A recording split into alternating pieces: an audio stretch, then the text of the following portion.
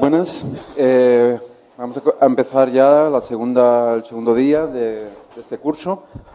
La ciencia pren la paraula, els problemes socials de les pseudociències. Eh, nuestro ponente de hoy es, eh, bueno, antes de presentar a nuestro ponente de hoy, quería comentaros que hoy también en la pausa del café, pues habrá un café y unas pastas. Eh, sugiero que aprovechéis la ocasión, pues, pues para charlar sobre estos temas e interrogar a, a nuestros ponentes o a los organizadores de- del curso. ¿Vale? El ponente de hoy es Javier Armentia, es astrofísico eh, y coordina el planetario de, de Pamplona ya desde hace muchísimos años. Eh, fue director del Centro de Divulgación Astronómica de Navarra, en el cual trabaja actualmente también, y eh, es docente del Máster de Comunicación Científica de la Universidad Pompeu Fabra. Eh, es un gran difusor del pensamiento crítico y participa como columnista en revistas de divulgación y periódicos como Cuo, El Mundo. También ha participado en programas de radio eh, como, eh, como Radio Nacional de España, incluso en la radio de San Vicente también hace un pequeño programita. Y, y lo más importante, yo creo, y por lo que debería tiene su mérito, es que lo tienen vetado en cuarto milenio, como acaba de decir. Entonces, algo sí que, sí que debe saber sobre el tema. Muy bien, muchas gracias. Desde luego esta presentación, eh, bueno, dejo, dejo esto porque, claro, más cómodo. Ah, perfecto, muchísimas gracias. ¿Qué tal? Muy buen día, eh, muy buenas a, a- a todos. eh, eh, yo espero no, no, no aburriros mucho hoy porque me, eh, los organizadores del curso dijeron, ya que vienes te vamos a, te vamos a poner a hablar y tal, ¿no? Yo os aviso, hablo mucho, mucho excesivamente. O sea, en casa me dicen, cállate de vez en cuando. Entonces, eh, he, tra- he traído unas cuantas diapositivas para no perderme y para contaros algunas de las cosas y, me perderé y me pondré a hablar de, de muchísimas historias. Pero quería reflexionar hoy con vosotros y en cualquier momento sí os pido que podamos parar y... Ah, muy bien, muchísimas gracias. Eh, que podamos parar eh, y, y que al hilo de, de una cosa podamos igual irnos por otro y así. Pero eh, planteándonos un poco esta, esta, este nombre tan, tan largo que le pusieron a esta primera parte. ¿no? La, la otra hablaremos más del fin del mundo, que es por si acaso llega, pues conviene estar preparados. Luego tendremos ahí un kit de supervivencia y haremos unas prácticas, si queréis también. Pero en esta primera parte era plantearnos bueno, el mundo en que vivimos, ¿no? ¿De dónde recibimos la información? Fijaros, eh, pensad en, las cosas que habéis hecho desde esta mañana viniendo a casa hasta aquí. Eh, ¿Qué tiene que ver con la ciencia? Bueno, igual no, porque eso, es un poco sesgado. Eh, pensad qué cosas que habéis hecho desde esta mañana que habéis venido, os levantado y habéis llegado aquí que no habríais podido hacer hace cinco años. ¿Y por qué las hacéis diferentes de hace cinco años o hace diez años? Principalmente, eh, bueno, a nada que tenéis un teléfono móvil, pues ya, estamos hablando de una serie de tecnologías de tal. Posiblemente habéis estado escuchando eh, una información en la radio, eh, bueno, pues mucho más globalizada posiblemente de lo que era hace unos años, ¿no? Casi son los mismos políticos y, nos siguen dando el mismo coñazo. Pero, bueno, pero podemos decir que ha ido también una evolución ahí en los medios de comunicación, los medios de transporte, el sitio donde estamos. Estoy hablando aquí con un con un micrófono y todo esto, bueno, esto existía ya hace unos cuantos eh, decenios, pero, pero todas estas tecnologías han ido cambiando, ¿no? Estamos aquí, todo el mundo tiene su ordenador o, esta presentación la podréis tener eh, en los materiales del curso online y acceder a los diferentes enlaces y todo ese tipo de cosas, ¿no? Eh, es, es evidente eh, que, que la ciencia va cambiando el mundo y, y- y no solamente la ciencia, muchas otras cosas. ¿no? Sin embargo, la percepción que tenemos como consumidores, como usuarios, es que todo esto nos viene, nos llega y nos puede interesar más o menos. Eh, de hecho, la ciencia tampoco nos interesa demasiado, socialmente podríamos decir. ¿no? Las encuestas de percepción social y la ciencia que hace la Fundación Española para la Ciencia y la Tecnología eh, suelen salir en los titulares eh, cosas muy graciosas como, como una buena noticia. ¿no? La ciencia interesa al 13%, más o menos 13,5% de la población actualmente. Ha ido aumentando en los últimos 10 años, antes era como un 11 o un 12%. Eh, pero claro, muy por detrás de otros temas. Que curiosamente, por ejemplo, algunos de ellos, eh, bueno, pues por supuesto el paro, la política, ahora la corrupción y todo ese tipo de cosas, ¿no? Eh, algunos de esos...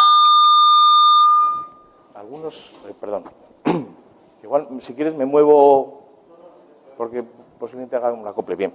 Decía que algunos de esos temas, paradójicamente, la gente no los ha asociado eh, con un carácter científico o técnico, y sin embargo lo tienen. Ah, eh, la gente habla del cambio climático, o la gente habla de las perspectivas en, en- el mundo de la salud o de la biomedicina, y a veces eso no se asocia directamente con, cuestiones que tienen que ver con la ciencia, con la tecnología, con el conocimiento científico o con la cultura científica.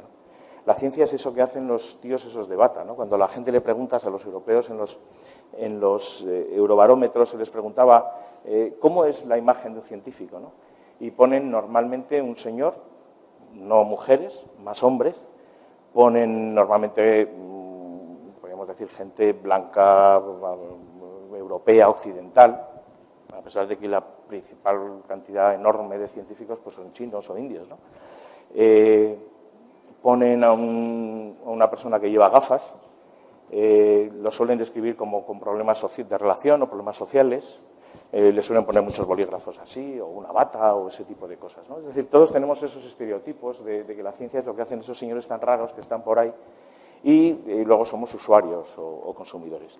Sin embargo, fijaros que posiblemente de las noticias que nos han interesado en los últimos tiempos, dejando aparte pues, eh, ese 40% del que se componen los telediarios, que es política, que suele ser políticos haciendo declaraciones, y ese otro 40% del que se componen los eh, telediarios, eh, que es deportes, que normalmente es deportistas o entrenadores hablando de, bueno, no, deportistas o entrenadores no, digamos futbolistas o gente relacionada con el fútbol, bueno, tampoco, digamos gente del Barça o del Madrid y poco más, ¿no?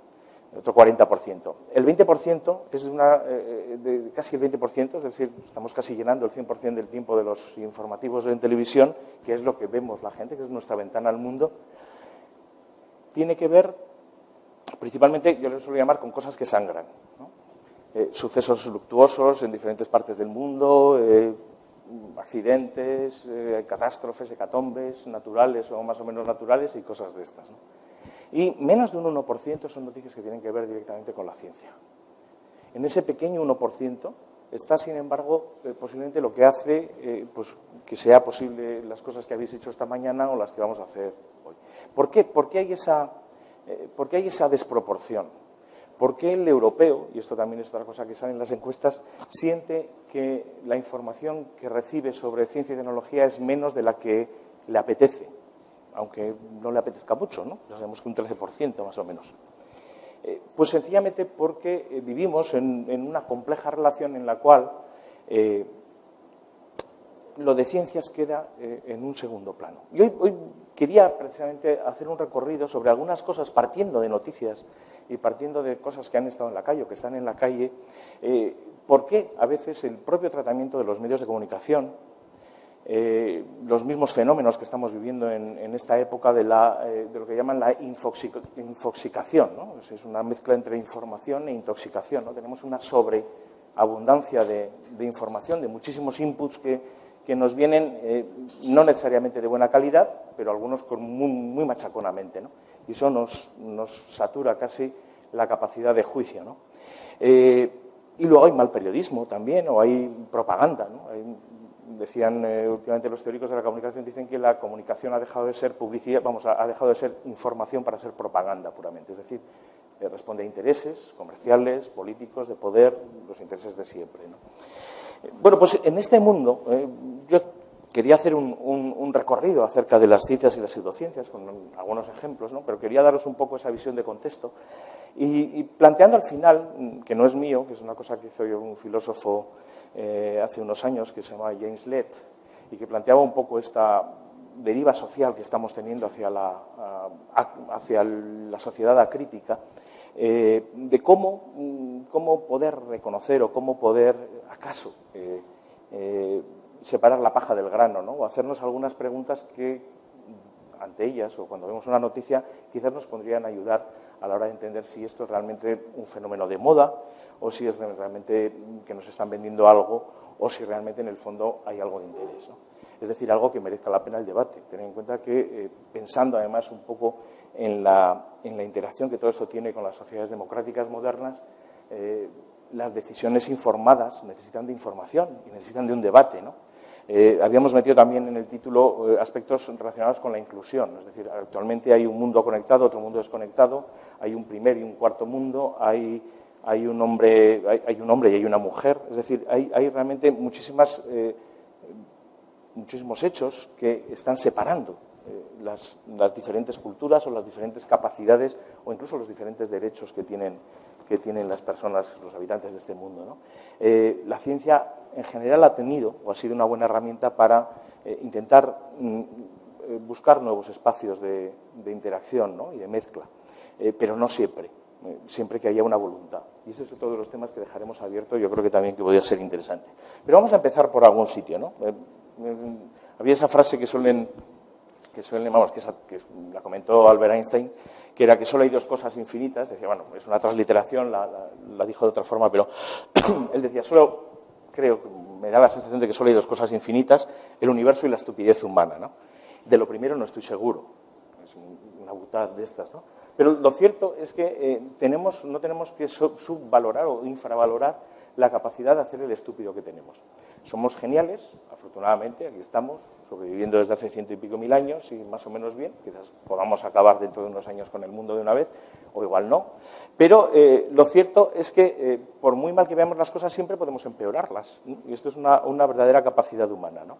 Eh, lo cierto también es que la ciencia, a pesar de que en estos 400 años de, de ciencia moderna, o especialmente a partir del siglo de la ciencia y el gran cambio eh, radical de, toda la sociedad tecnocientífica, como se ha llamado a veces eh, en el siglo XX, lo, cierto es que es una labor en progreso, es una labor por hacer. Y es el, planteamiento. Entonces, de repente yo el otro día veía esta, esta noticia, esto es del pasado día, la semana pasada, el 17, ¿no? Eh, detectan un brote de sarampión en Cataluña con una treintena de afectados. Se referían al sarampión, a una enfermedad que además, bueno, pues normalmente la población eh, podía estar perfectamente vacunada porque hay una serie de eh, vacunas programadas en la sanidad pública a la que todo español tiene acceso por el momento. No sabemos si luego esto va a ser también parte de las cosas que nos van a quitar de la cartera.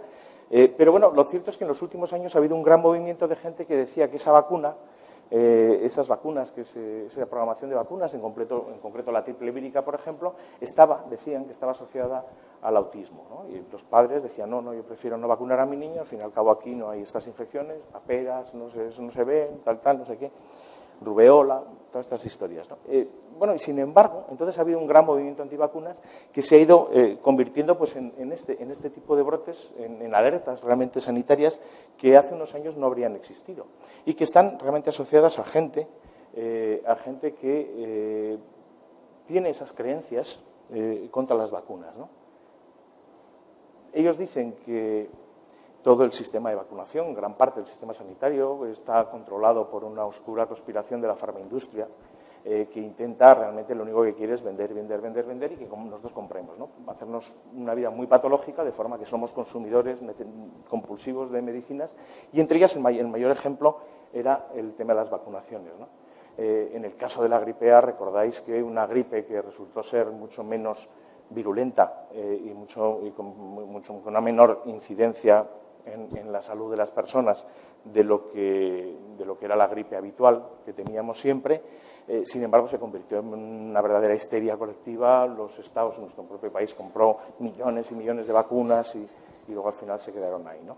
Todo ese tipo de cosas las, leemos eh, a través de los medios y nos quedamos siempre eh, diciendo, bueno, ¿qué pasa? No? ¿Qué ha pasado? hace unos años, el, sarampión, estos son noticias del año pasado, repunte del sarampión. Hace dos años, por ejemplo, en Granada, un juez tuvo que obligar a un colegio a hacer una vacunación eh, porque los padres se habían negado a hacer la vacunación y había unos brotes eh, víricos y entonces, eh, bueno, pues, pues, pues, al final tuvo que intervenir una instancia judicial para decir, no es lógico que en un país donde hay este tipo de cosas pasan ahí, ¿no? Este año ha habido brotes importantes en Inglaterra, un país donde, donde llegó a haber un 98% de la población vacunada contra estas cosas y que ahora está habiendo un repunte enorme, porque hace unos años, en el año, eh, creo que fue 98, este señor que está ahí, que se llama Andrew Wakefield, eh, publicó en The Lancet, que es una de las revistas de referencia de, eh, de información médica, una gran revista científica en el sentido, con su sistema de revisión por pares, donde los artículos se supone que son revisados, analizados y sometidos a, una comunidad de expertos para, que vean su adecuación, pues publicó este, ese, ese, informe que eh, finalmente ha sido retirado varios años después, pero que decía eh, que había unos eh, problemas, unos problemas sanitarios en, los niños asociados al eh, a la administración de la vacuna triple vírica. Eh, este, este, artículo y otros, eh, no, venía, de nuevo, pero, este provocó realmente una enorme fiebre antivacunas en todo el mundo que hizo disminuir, por ejemplo, en Inglaterra la vacunación en un porcentaje, pues creo que se pasó del 98 al 88%, o sea, un 10% sencillamente por el miedo que esto estaba provocando. Posteriormente se ha sabido que Andy Wakefield creó esos, esos 12 casos de un hospital en Bath, creo que era, donde, donde presentaba su artículo. Eh, los seleccionó, los escogió, eh, hizo una mala investigación, una investigación, eh, podríamos decir, casi criminal por las consecuencias que ha tenido posteriormente. no solamente eso, se sabe que Andrew Wakefield era poseedor de unas cuantas patentes de vacunas alternativas a la triple vírica, que le habrían hecho riquísimos si en algún momento la Organización Mundial de la Salud, por ejemplo, hubiera prohibido la vacuna eh, de este tipo y hubiera tenido que ir a las que tenía patente Wakefield. Se supo también que Wakefield, finalmente, pero no, eh, trabajaba entonces ya y ahora para grupos de presión antivacunas existentes en Estados Unidos. Esta es eh, una conducta, evidentemente, ya digo, delictiva, está, sometido a juicio en, Inglaterra, pero bueno, estas cosas quedaron un poco así. Pero muestra cómo realmente eh, esto, eh, que podía ser, fijaros, en política podría ser un escándalo, bueno, de estos que pasan en este país una o dos veces a la semana, pero, pero bueno, que en, un país civilizado parece que esto tendría que parar. Sin embargo, esto se cometió de forma impune en Inglaterra y durante muchos años fue realmente el trabajo de, un par de periodistas, sobre todo un periodista científico en, en el Guardian, eh, el que estuvo siguiendo y, viendo qué pasaba, por qué nadie decía nada y por qué la irresponsabilidad estaba provocando este asunto con las vacunas. Es cierto que este tipo de cosas, eh, a la larga, el sistema, digamos, de corrección, de, por supuesto, este, estos ensayos, estas pruebas se intentaron replicar, se intentaron reproducir en otros, en otros hospitales infantiles y no salieron, se publicaron esas, esos eh, fallos en la, esa imposibilidad de, reproducir los resultados, pero, pero da igual, es decir, eh, estaba en mal, ya muy hecho, y este artículo sigue siendo citado y sigue siendo presentado por los movimientos antivacuna como uno de los ejemplos eh, por los cuales no nos podemos fiar de las vacunas. Ahora dicen que todo esto es un complot, por supuesto, para desmontar a, este, este, médico que es, por el contrario, pues el paladín de la, de la medicina más responsable. ¿no? Es cierto, es cierto por otro lado, que los organismos que deberían controlar estas cosas, ¿no? Eh, lo, que, lo que el sociólogo Ulrich Berg planteó hace, hace un decenio y medio, ¿no? tras el desastre de Chernobyl, sobre todo, eh, que llamó la sociedad del riesgo, ¿no? es decir, ¿quién nos ofrece eh, el juicio sobre qué es bueno, qué es malo o, o qué riesgos podemos tomar? ¿no? Vivimos en una sociedad riesgosa en el sentido de que hay muchas cosas que nos, van, eh, nos pueden matar o nos pueden crear problemas. ¿Quién nos da la información de la que nos podemos fiar? En los asuntos de transgénicos, ¿quién nos tiene que dar esa información, por ejemplo, eh, que, que, nos permita eh, bueno, tener, ver qué riesgos razonables se, se pueden hacer o no? organismos internacionales, los organismos conservacionistas, los ecologistas, las universidades. Eh, no, son temas que estén resueltos. Fijaros, en el caso de transgénicos, por mucho que los organismos internacionales o por mucho que eh, los trabajos de investigación apunten en un sitio, la eh, digamos, bueno, versión admitida por todo el mundo, por la sociedad, es una que ha sido propuesta o vendida, por así decirlo, por, por Greenpeace. Y entonces se acepta de forma crítica que los transgénicos tienen muchos más riesgos que beneficios. ¿no? El tema de la telefonía móvil podría ser lo mismo, ¿no? a pesar de que todos llevamos usando teléfonos móviles desde hace 15 años y los niveles de cánceres no ha habido ninguna epidemia en epidemiología que pueda demostrar que ningún problema, se siguen aireando una vez más y hasta la propia Organización Mundial de la Salud se mete ahí.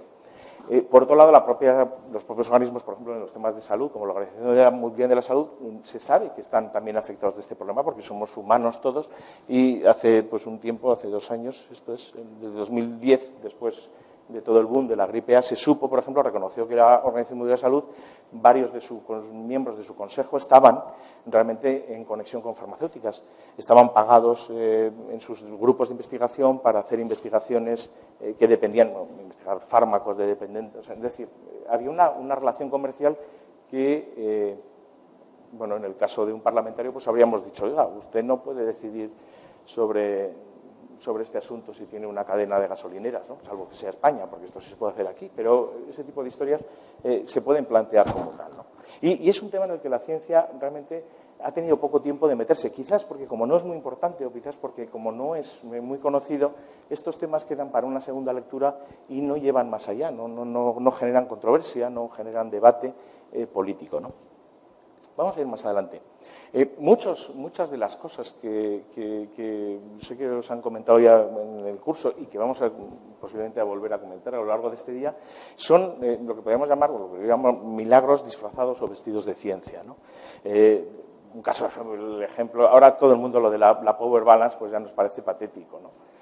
pero hubo un momento en el que se vendieron cientos de miles de, pulseritas de estas de, silicona con ese eh, con ese holograma que, resonaba, que resonaba, decían que, entraba en resonancia con las frecuencias típicas de la Tierra y del organismo humano, y, bueno, pues grandes, eh, grandes periodistas como José María García o Iker Jiménez, eh, grandes deportistas como Cristiano Ronaldo, Gasol, o grandes personajes conocidos como Belén Esteban, o ministras de salud como llevaban ahí alegremente su, su pulsera. ¿no? Eh, era parte de una estrategia. ¿eh? Mucha de esta gente le regalaban la pulsera para que le sacaran luego fotos, fotos con, la, con la pulsera y todo el mundo estaba ahí. Había algún estudio, bueno, la pulsera esta la habían inventado dos tipos en California que eran surferos. A mí eh, me empezó a llegar la, la historia de la, de la, Power Balance un año antes, porque tengo amigos que son surferos ahí en, en, la zona de Guernica, y se puso de moda, ¿no? De hecho, se puso tan de moda que en el campeonato de ese año en Zarauz eh, hubo una cierta controversia porque decían que no iban a dejar a los, a los competidores llevar la Power Balance, porque podían tener una, una ventaja sobre los que no llevaran la Power Balance. Eh, yo entonces estaba colaborando en un programa en la televisión vasca y, eh, uno de los operadores de la Dolly, la, estas mm, televisiones, estas cámaras que llevan un sistema giroscópico para poder hacer movimientos y así, con un gran con una gran pértiga, es un tío muy cachas y tal, y es además surfero, ¿no? Y este iba contentísimo y ufano con su, con su power balance, ¿no? Y me dijo, ah, no sé qué, ves, tú estas cosas no te las crees, pero yo desde que voy esto tengo un equilibrio enorme. Entonces yo me acerqué y le pegué un empujón y se fue contra la pared, ¿no? Me dijo, tío, ¿no me has avisado? Y digo, claro, el equilibrio el equilibrio no funciona cuando te avisan, el equilibrio funciona cuando te desequilibras. Es decir, evidentemente no era una prueba que hiciera nada, pero nadie había hecho siquiera esa comprobación. Por el contrario, te la vendían y te hacían te voy a empujar, sí. Y ahora te la pones y te empujo. Y la gente no se caía. a la segunda estás avisado, salvo que seas tarao, ¿no? Eh, eh, realmente ese tipo de cosas era la única comprobación que habían tenido. Se habían movido en el mundo del deporte, se había hecho una campaña de marketing enorme y, luego pues al final se desmontó. ¿no? se habló que iba a quebrar la empresa, pero da igual, si, si ya, ya, encontraron la cosa, el imán para imantar el agua, la mariposa cervical o, o en este caso pues encontraron la, la ciencia cuántica, que ya sabéis que le pones cuántico a cualquier cosa y funciona muy bien. Y entonces hay unas pulseras y, hay unos colgantes cuánticos que también se han vendido y que también algunas organizaciones de consumidores empezaron a, quejarse aquí en, este país hace unos años. Es cierto que, eh, que estos productos... Eh, eh, bueno, pues, pues, pues, nadie se los tiene por qué creer demasiado, ¿no? pero se venden a veces eh, con propaganda y con afirmaciones del tipo, pues esto es de la página web del Q-Link, esto, ¿no? Hemos trabajado con científicos mundialmente conocidos para estudiar y perfeccionar la tecnología. La efectividad de la, ¿qué era esto? El single resonance, no sé qué, se ha comprobado en un amplio espectro de experimentos y pruebas hechas en la Universidad de Stanford, en Estados Unidos, que es la Universidad de Stanford, por favor, quien no ha oído hablar de, de Stanford, ¿no? Seguro que no es, vamos, ni Stanford no, tienen un cuchitril al lado de Stanford posiblemente donde, donde había un amigo que firmó un papel, ¿no? O, como muchas de estas cosas, mm, yo a veces em, escribes a la, a la compañía eh, que hace un aparato de estos, eh, había unos, unos aparatos que venían para los móviles, eran unas pegatinas magnéticas que quitaban las malas radiaciones de los móviles, ¿no? Basado en las tecnologías de un gran científico ruso de no sé dónde. ¿no? Yo pedí información y tal y me mandaron unas fotocopias, un PDF, de una patente solicitada en coreano. ¿no? Eh, claro, con la idea de que bueno, estaba en coreano, pero claro, yo tengo un reconocedor de textos, lo metí y vi la traducción y sencillamente en, ningún lugar, ni siquiera de esa patente, se hacía reconocimiento que eso funcionara. ¿no? Es decir, eh, eh, la intención es, como siempre, engañar, pero vestirlo de ciencia, ponerle esta bata que eh, está bien considerada. ¿no? hace, hace un año, esto fue en 2011, pues, pues FACO, algunas, algunas asociaciones de, usuarios se han empezado a meter con este tema. No tenían que haberlo hecho porque en nuestro país la, normativa europea, traspuesta después de tres años de demora, eh, nos debería proteger de estas cosas. Supuestamente, la, normativa eh, que hay en la Unión Europea contra el comercio, la propaganda engañosa o el comercio desleal, eh, impide que se anuncie nada con afirmaciones que no estén demostradas en, la reglamentación española, por ejemplo, impide esos anuncios que salían antes de un científico que decía yo soy científico y este, este, este detergente lava más blanco. Esto ya no se puede hacer en España, salvo que seas Punset y puedes decir que este bimbo es más natural. ¿no? Eh, pero, eso estaba ya posiblemente rozando y del otro lado de la ley, ese, anuncio. Sin embargo, estas cosas se hacen una y otra vez porque la, la Administración normalmente no actúa a priori eh, fijaros si realmente se exigiera que los anuncios que se van a poner en un periódico, eh, eso de eficacia probada, estuviera realmente probada. Eh, ningún medicamento homeopático, por ejemplo, es de eficacia probada. Ninguno ha pasado las pruebas de eficacia, solo, han, pasado las pruebas de inocuidad, porque de hecho la ley, ley medicamento español permite que un medicamento homeopático solo pase pruebas de inocuidad y al fin y al cabo el agua no mata a nadie. ¿no? Es cierto que además eh, todo este tipo de productos, estos que he puesto y muchos otros, se nos presentan, eh, bueno, pues, pues como, lo hace la publicidad, ¿no? Es decir, para vender un coche, pues pones la vida del tipo que lleva ese coche, ¿no? No una vida cutre, sino una vida estupenda, ¿no? No sé si recordáis hace dos años, cuando esta mujer que había dado a luz 11 días antes eh, se presentó en la gala de los Oscars vestida así y con este cuerpazo, ¿no?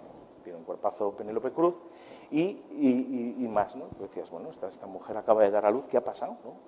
Y dicen que alguien le preguntó qué ha pasado y dice, no, es que he hecho la dieta Ducan. Luego eh, su, gabinete de prensa dijo que era falso, que ya no había dicho tal cosa. Pero esto disparó en España las ventas de los libros del doctor Ducan, Pierre Ducan, eh, que eh, ya llevaban un, bueno, habían sido publicados hace 10 años en Francia, habían tenido mucho éxito en Francia, pero ahora era la exportación mundial del sistema Ducan que eh, es actualmente un éxito eh, innegable, ¿no? Eh, con grandes personajes, Penélope Cruz, Jennifer López, Esperanza Aguirre, las más bellas y más deseadas mujeres del mundo, pues, pues están, estaban, estaban ahí en, estas dietas.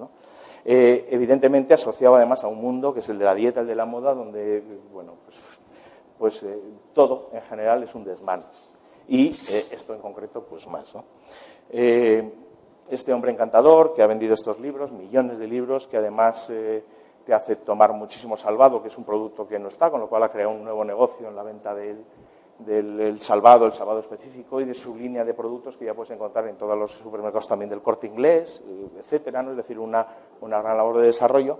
El año pasado le tuvimos, le tuvimos a Pierre Ducan, o sea, accedió a un debate científico con, eh, con, con Revenga, con un nutricionista que, hace el blog este del nutricionista de la general en, este es en 20 minutos o en algún medio digital. Y, bueno, con el asesoramiento de la Asociación Española de Dietistas y Nutricionistas, cuyo, eh, cuyo comité, eh, cuyo comité de, estudios, un comité independiente que tienen de análisis, donde hay eh, importantes expertos de las diferentes universidades españolas, habían sacado ya una información que había sido además presentada también por el Ministerio de, eh, Sanidad y de Alimentación, dentro de su estrategia NAOS para, los temas de eh, vida sana y alimentación sana, diciendo que la dieta de Ducan era peligrosa. Era una dieta eh, que no se basaba en, en, comprobaciones científicas, las dietas hiperproteicas son muy contestadas y tal, pero que esta en concreto además usaba una serie de afirmaciones que no estaban basadas y tal. Entonces el debate fue increíble Eh, estaba también eh, un, nutricionista que, es, que era entonces presidente de la Asociación Española de Dietistas y Nutricionistas, que era Giuseppe Rusolillo, y, ellos le planteaban, decían, bueno, ¿cuáles son sus pruebas? ¿Cuáles son las pruebas de que la dieta Dukan funciona? Y él decía, que, que vendo mucho, punto uno, que tiene mucho éxito, lo cual es innegable, tiene éxito, pero esto es una consecuencia, no es, no es una cuestión previa. Y segundo, él decía, bueno, cuando éramos cazadores recolectores, ¿no? hace decenas de miles de años, no comíamos dieta mediterránea, no comíamos sano. Y sin embargo la gente estaba mucho más sana. Nos decían, no, no, los que vivían estaban más sanos. Normalmente la gente se moría, normalmente nada más nacer o, de una enfermedad infecciosa en los primeros meses de vida o, a lo largo de la, de la, vida en cualquier momento. Claro, los que llegaban a vivir mucho tiempo eran más sanos porque eran organismos más resistentes. Pero eso no es la base de una, dieta. Tú no puedes decir que vas a una dieta basada en la carne y en, ciertas prohibiciones de conjuntar alimentos y tal, completamente místicas y no basadas en una experimentación real, no comprobadas y que además a lo largo de, eh, un estudio que se ha podido hacer en años, por ejemplo en Francia, eh, se comprobó que eh, daba problemas médicos a ciertas personas. Hay gente que, que puede tener problemas eh, hepáticos y, de otro tipo debido a, estas dietas eh, tan exageradas, que, te hacen realmente cambiar el metabolismo, intentar cambiar parte del metabolismo de las grasas eh, en, el, organismo. Sin embargo, estas dietas se siguen vendiendo. No sé si la semana pasada hubo un debate también en Telecinco sobre, sobre el mismo tema, una vez más, y este señor está encantado, porque cuanto más debate hay, más vende no hay forma de parar este tipo de cosas realmente con una reglamentación que proteja, al consumidor, ni siquiera con la información de los científicos. En este caso, la reglamentación existe y los científicos, los organismos de salud y tal, se han puesto. Pero, ¿qué puedes hacer en contra o qué puedes hacer para parar eh, todo el, enorme empuje de una maquinaria de publicidad que va asociada a una eh, gama de productos que se venden y que está de acuerdo con las grandes empresas de distribución en este país?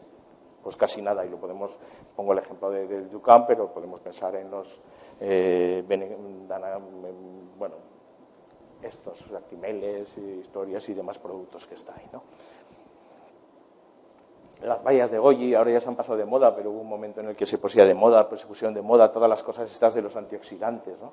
Eh, lo mismo, una cosa que cuando hablas realmente con los científicos, cuando hablas realmente qué, hay de cierto en este tema del antioxidante, los resveratroles, de, todos estos tratamientos anti-aging que ahora prueban, eh, perdón, pueblan las, las farmacias y, y todos los estos de belleza. Después, muy poco, nada, e incluso hay cosas eh, completamente curiosas. Por ejemplo, las, las, vallas de goji que supuestamente venían del Tíbet, donde no crece el, el goji, eh, estaban hechas en, principalmente venían de China, recogidas sin, los criterios de salubridad y tal exigibles a productos europeos y varias, de ellas fueron retiradas por presencia de metales pesados y ese tipo de cosas. ¿no? son las cosas que luego no se cuentan, pero bueno, al final eso no solamente eran tóxicas, sino que desde luego no hacían su valor.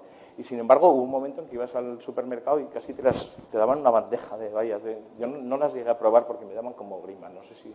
¿Las habéis comido alguna vez? No. Qué gente más rara sois.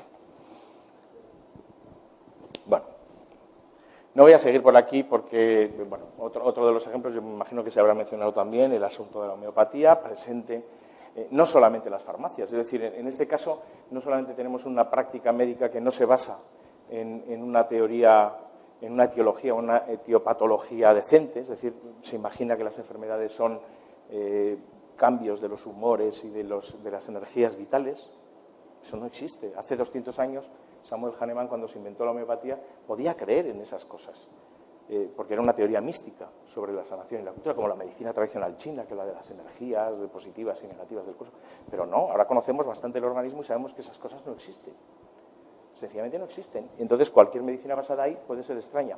Pero bueno, podría curar, ¿no? Lo que pasa es que eh, eh, la, la, homeopatía se basa en la dilución extrema de algunos mm, de, algunos, de algunas sustancias, pero tan extrema que ni siquiera llega a haber moléculas. Y aquí entramos un problema con la química. Hace 200 años justo estaban haciendo la química moderna. Amedeo Avogadro estaba trabajando precisamente sobre ese número enorme que podía tener de moléculas una, una cantidad típica de gas y salió ese, número Avogadro y estaban las, naciendo las leyes que, marcaron la, química moderna. Eh, hace 200 años, cuando se publica el órgano de Samuel Hahnemann, eh, había una teoría de la enfermedad y, del bienestar, bueno, pues recuerdo que, bueno, pues, se hacían sangrías para, todo, por ejemplo. lo cual está muy bien, porque si tú tienes una herida o una úlcera sangrante y te hacen una sangría, lo más probable es que mueras pronto y rápido. Eh, o, muchas otras cosas. Es cierto que los, tratamientos, por ejemplo, que había entonces contra la sífilis, con vapores de mercurio y tal, eran tan venenosos que mataban a casi todo el mundo. Los que no se morían de sífilis, posiblemente enloquecidos, eh, enloquecían o morían de forma terrible por, envenenamiento con mercurio. Eh, a él se le ocurrió que, que, la medicina debería tener unos principios naturales, cogidos de la naturaleza, con efectos básicos. Entonces, tomando una ley muy antigua, una ley mágica que es lo, similar cura lo similar, y usando esas diluciones extremas, pues creó una, teoría, una materia médica que ellos llaman, que desde entonces ha permanecido en esencia, sin cambiar mucho, se han incorporado cosas. ¿eh? Se han incorporado cosas, pero, pero, en esencia viene siendo la misma teoría que no ha sido avalada nunca por ninguna investigación y que solo, ha sido, o sea, se ha ido manteniendo eh, gracias a que es un producto que se vende, que se vende bien y que tiene cierta popularidad y que como alternativo vive mucho mejor porque no se le exige que cure nada. Al ser alternativo va a coger todos los, eh, digamos, eh, despieces de, gente que ha pasado por el sistema y no se cura o no se queda a gusto. Eh, y entonces, pues, lo malo, lo malo es que tiene avales es que en nuestro país la homeopatía no es una cosa que hagan unos tíos muy raros y que están ahí, así, no es una cosa de curanderos que van por allí en un pueblo a, darte unas hierbas o, unos saumerios o no sé qué. No, no, no. Es una cosa de venta en farmacias, avalada por los colegios de médicos, practicada en España por médicos licenciados y colegiados y eh, avalada además en los últimos años con cátedras y másteres concretos y pagados por los laboratorios homeopáticos que existen en las universidades españolas, en un completo desmán. Eh, sin embargo, esto es eh, con una completa impunidad. Una vez más, estamos asistiendo a un tema claramente anticientífico. Se ha vestido de ciencia, es más, se ha vestido de ciencia académica. Ahora están sacando eh, toda una nueva gama porque, claro, tienen un empuje de dinero. Nos dicen, no, es que estas son, son empresas muy pequeñas en comparación con las grandes. Esta es, otra de las mentiras. No es David contra Goliat, la, la homeopatía no es así las grandes compañías, Smith, GlaxoSmithKline y todas estas, tienen divisiones de homeopatía. No van a ser tontos, saben dónde está el negocio, primero. Y segundo, los beneficios que tienen multinacionales o transnacionales como Baron son muy importantes, posiblemente no tan importantes como los de Pfizer, pero sí muy importantes. O sea, son grandes compañías con estrategias de comunicación, donde además es muy sencillo porque no tienen que gastar nada en investigación. Todavía Pfizer o todos estos pueden decir que ellos gastan mucho dinero en investigar una molécula para hacer luego un producto. En el caso de homeopatía, no.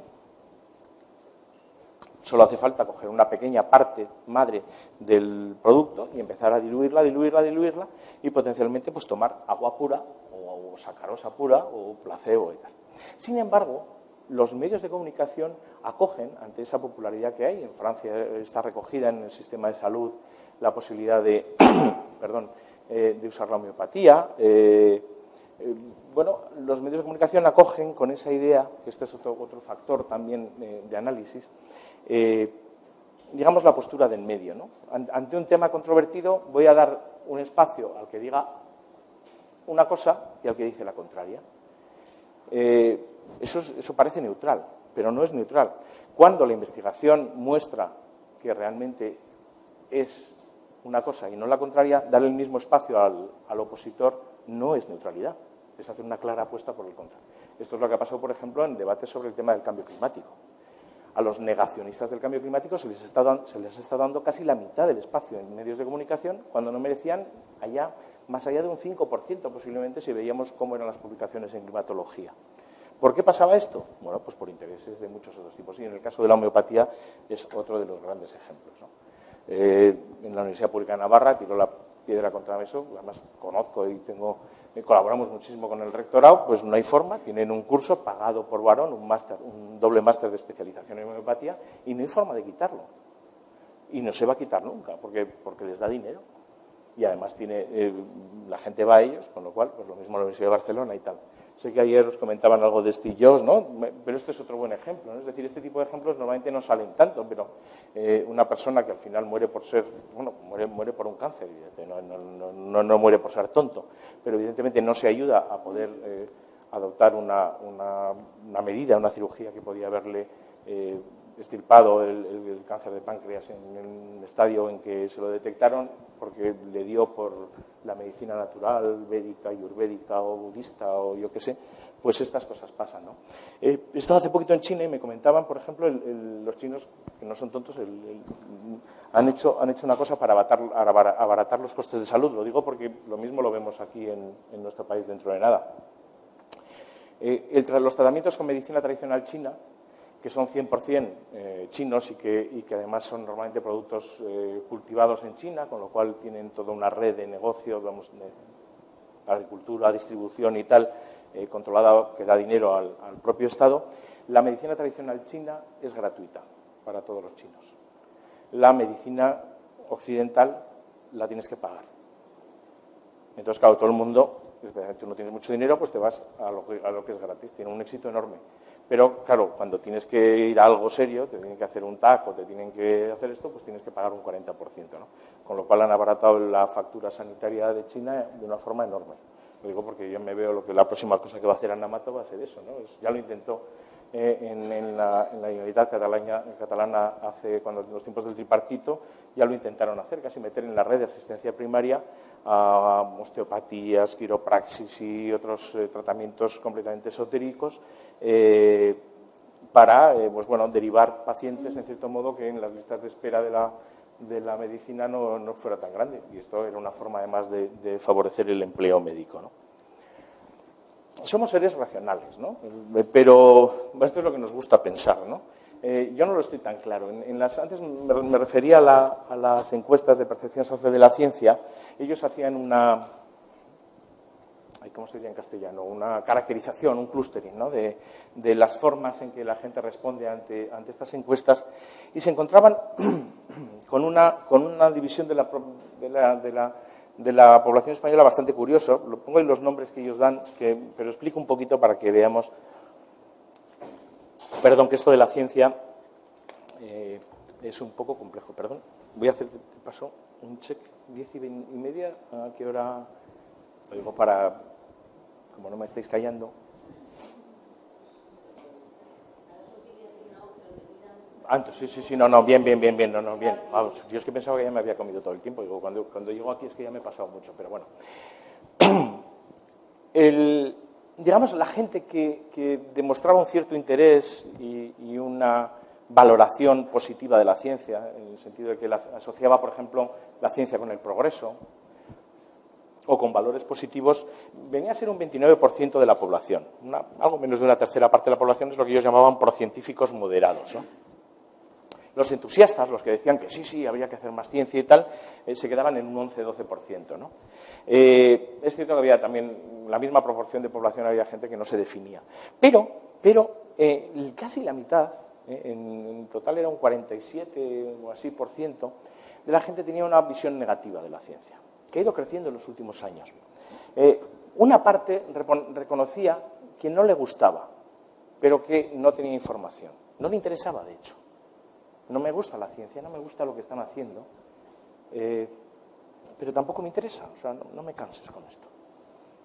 Es importante pensar que casi una tercera parte de la población española piensa eso de la ciencia, porque esto es un resultado de lo que hemos dejado que se vaya haciendo durante muchos años. Y había un, porcentaje importante que era muy crítico con la ciencia, pero que en las respuestas sobre las opiniones que tenía y sobre los conocimientos mostraban que realmente no tenían una información, una información eh, correcta, sino que usaban argumentos erróneos para estar en contra de la ciencia.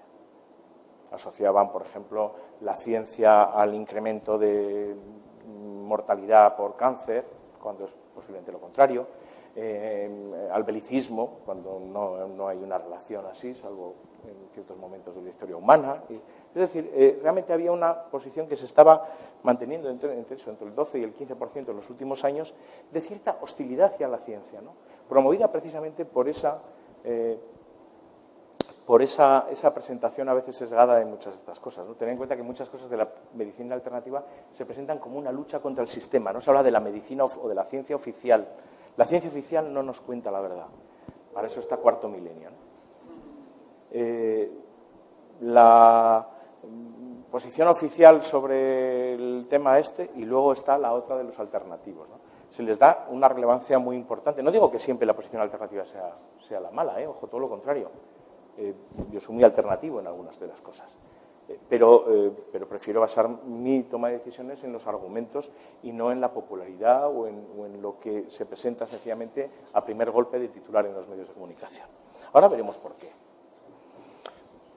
Vivimos en un tiempo, siempre se ha dicho ese refrán de quien da primero da dos veces. No es verdad. Quien da primero da un millón de veces. O sea, es actualmente en la era de Internet quien mete primero una noticia en la portada, eh, lo retuitean, lo facebookean por todos los sitios, tal, no sé qué, tal, tal, se posiciona en, los, en, los, eh, en, los, eh, en las búsquedas de Internet y esto es una realimentación increíble, ¿no? Rápidamente una noticia. ¿Importa que esa noticia sea cierta? ¿Importa que esté contrastada? ¿Importa? No, no y no, nunca. Es más, los bulos viajan más rápido que las, que las noticias de verdad. Hombre, no todas, hay noticias muy relevantes. Pero ojo, el posicionamiento en los buscadores o el posicionamiento en, la portada de un, medio de comunicación no quiere decir, normalmente todo lo contrario, que esa eh, noticia, que esa información sea de calidad. Sin embargo, va a ser popular. La gente va a hablar de eso que vieron el otro día o de eso que han dicho. Oye, me han dicho que, pasó no sé qué.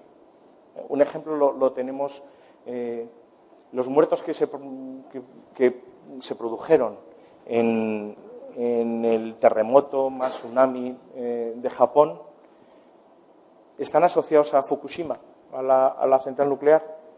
No. Los muertos estaban asociados a, varias, a, varios destrozos que hubo en, en centrales convencionales y otro tipo de problemas en carreteras y tal. Es decir, no hubo muertos asociados al problema nuclear. Sin embargo, a todos se nos ha juntado porque los medios de comunicación vendieron realmente esa imagen.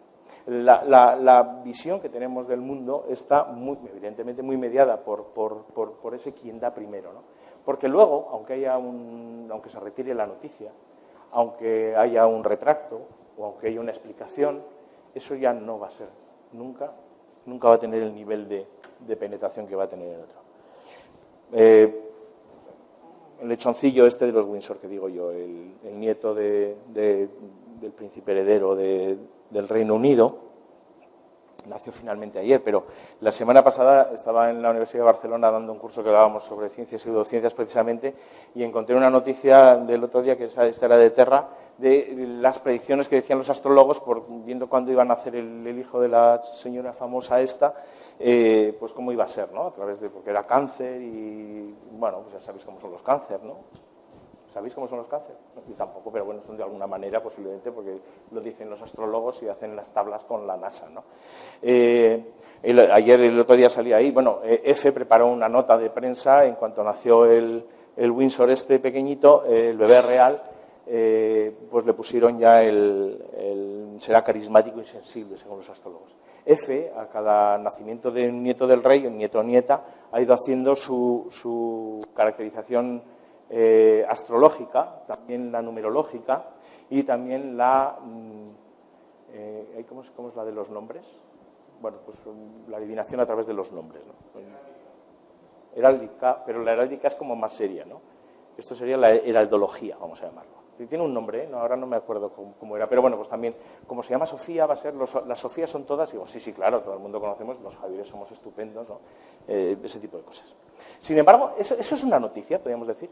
Es normal, por ejemplo, que un medio importante de referencia como La Vanguardia eh, tuviera una astróloga, que es Guillermo Guillor, de cabecera, y que cada vez que iba a haber un debate importante en el Parlamento sobre, los, sobre el estatuto y esto, media página fuera como qué decían los astros de, la decisión, porque esto lo hace la vanguardia, o sea, no, estoy hablando de la Gaceta, o de, estoy hablando de un diario que parecía serio. ¿no? Eh, veía ayer aquí, ayer pasaba, bajaba de Pamplona por Viver, ¿no? Viver organizaron una noche de astrología y decía, zas, la típica noticia que, que es errónea, porque a veces astronomía y astrología se confunden. Dicen, no, no, no, era el ayuntamiento ha, ha, hecho pues eso, unos talleres que van a hacer bolsos de anillas de lata, eh, ganchillo eh, y eh, clases de gimnasia y tal, y, hacer horóscopos. Claro que es más bonito para los niños en verano que hagan horóscopos. Este tipo de cosas son, muy patéticas, pero están ahí. ¿no? En el mismo año de la astronomía, la Universidad, la Universidad Internacional Menéndez Pelayo iba a programar un curso de astrología tuvimos que hacer una queja muy grande por ahí todo el mundo, la Sociedad Española de Astronomía decía, hombre, no hagáis eso, y menos en el año de la astronomía, que estamos celebrando el que finalmente un tío miró por un telescopio y descubrió que no era lo que le contaban. ¿no? sin embargo, está ahí. ¿no? Un, un tema, voy a coger un tema ahora que está muy poco de moda, eso es lo bueno de los temas que ya han pasado, pero que estuvieron muy, muy de moda en los años 80-90, pues eh, Ricardo Campo, que nos escribió, dirijo una, una, colección de libros, he puesto por ahí alguna en plan propagandillas y de vez en cuando, pues si os interesa, unos libros que se llaman Vaya Timo, ¿no? No sé qué, Vaya Timo. Eh, yo le llamo la colección para hacer amigos. Eh, la homeopatía, vaya timo, la acupuntura, vaya timo, el psicoanálisis, vaya timo, la sábana santa, vaya timo, los ovnis, vaya timo. Bueno, pues el de los ovnis, vaya timo, lo escribió Ricardo Campo y él habla de Ovnilandia, ¿no? Eh, eh, Ovnilandia sería un poco ese, este mundo en el que vivimos, en el que si yo al mencionaros un ovnis o platillos volantes ya todos habéis imaginado unos cuantos tipos de extraterrestres, eh, estas visiones del cielo que aparecen por ahí. Tal. Todos tenemos, es una iconografía, es un, es un, es un mito, es un folclore completamente metido desde, desde, el año 47, que son los primeros ovnis de la era moderna, como suelen llamarlo, eh, se ha metido ahí. ¿no? Sin embargo, a pesar de que en los recuentos hablan de más de 11 millones de casos ovnis, lo cual sería pues, unos 7 casos de ovni al día en alguna parte del mundo, no hemos tenido nunca ese embajador extraterrestre de verdad, no uno de pega tipo de Carlos Jesús o una cosa de estas, eh, bueno, que no sé por qué es más de pega ese que otro, ¿no? Esto es como cuando dicen eh, en ese titular de prensa que dicen detenido un falso vidente. ¿Hay algún, algún vidente verdadero?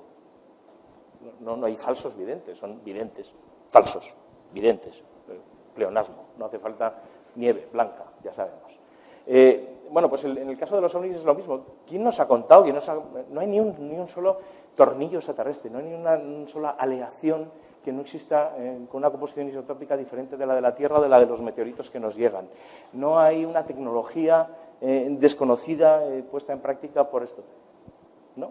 A pesar de lo que llevan vendiendo revistas como Más Allá, Año Cero y tal, desde hace un montón de tiempo, y otros desde hace muchísimo tiempo más, ¿no? Yo cuando era niño pues veía también a Jiménez del Oso y, y a Benítez y tal, pues, pues todo esto es un cuento. ¿no? Pero el otro día, el otro día, eh, en el ABC, salía alerta, de, alerta OVNI, una alternativa para celebrar la noche de San Juan. Yo no sé si esto era una parte de esa idea que tienen los del ABC, de para que no haya una fiesta pagana, por lo menos que miren extraterrestres, ¿no? En vez de follar, que, miren al cielo, yo qué sé. Bueno, pero la cosa es que hay, hay una cosa que se llama eh, Spain, que está por ahí en Facebook, eh, joder, les voy a hacer mucha propaganda, pero bueno, eh, tenían esa alerta internacional, ¿no? Lo de las alertas ovnis es una cosa que se puso de moda en los años 70. Antonio Jaseles estaba muy asociado a la radio nocturna. Sabéis que la radio nocturna y de fines de semana pues sigue teniendo ese tono de, eh, de golferío. Yo he hecho programas golfos hablando de ciencia y ellos hacen programas golfos hablando de, esoterismos y cosas paranormales y tal. Entonces se les ocurrió montar una cosa que ya había pasado en Estados Unidos, que era, en cierto modo, convocar a, toda la gente para que mirara esa noche para ver los propios volantes, que a mí me gustaba mucho porque decía, fíjate, con las distancias tan enormes que hay en el cosmos, eh, una misión que viene desde Z Reticulino eh, y que va a llegar justo a la Tierra tiene el detalle de llegar la noche en la que la radio no sé cuál organiza la alerta OVNI. Pues si llega la noche anterior, no se coscan de nada, o la siguiente, pero justo es la noche en la que estaba Antonio José Ales, por supuesto se veían ovnis y tal, y los convocaban y tal. Esta es, eh, bueno, pues una especie de conventillo, es un sarao, una quedada, como se dice ahora, ¿no? para, para dar popularidad a un tema. Pero desde luego mm, no, no, responde a la realidad de un fenómeno. ¿no? Sin embargo, ya digo que esto es 2013, un tema poco esto, y está ahí. ¿no?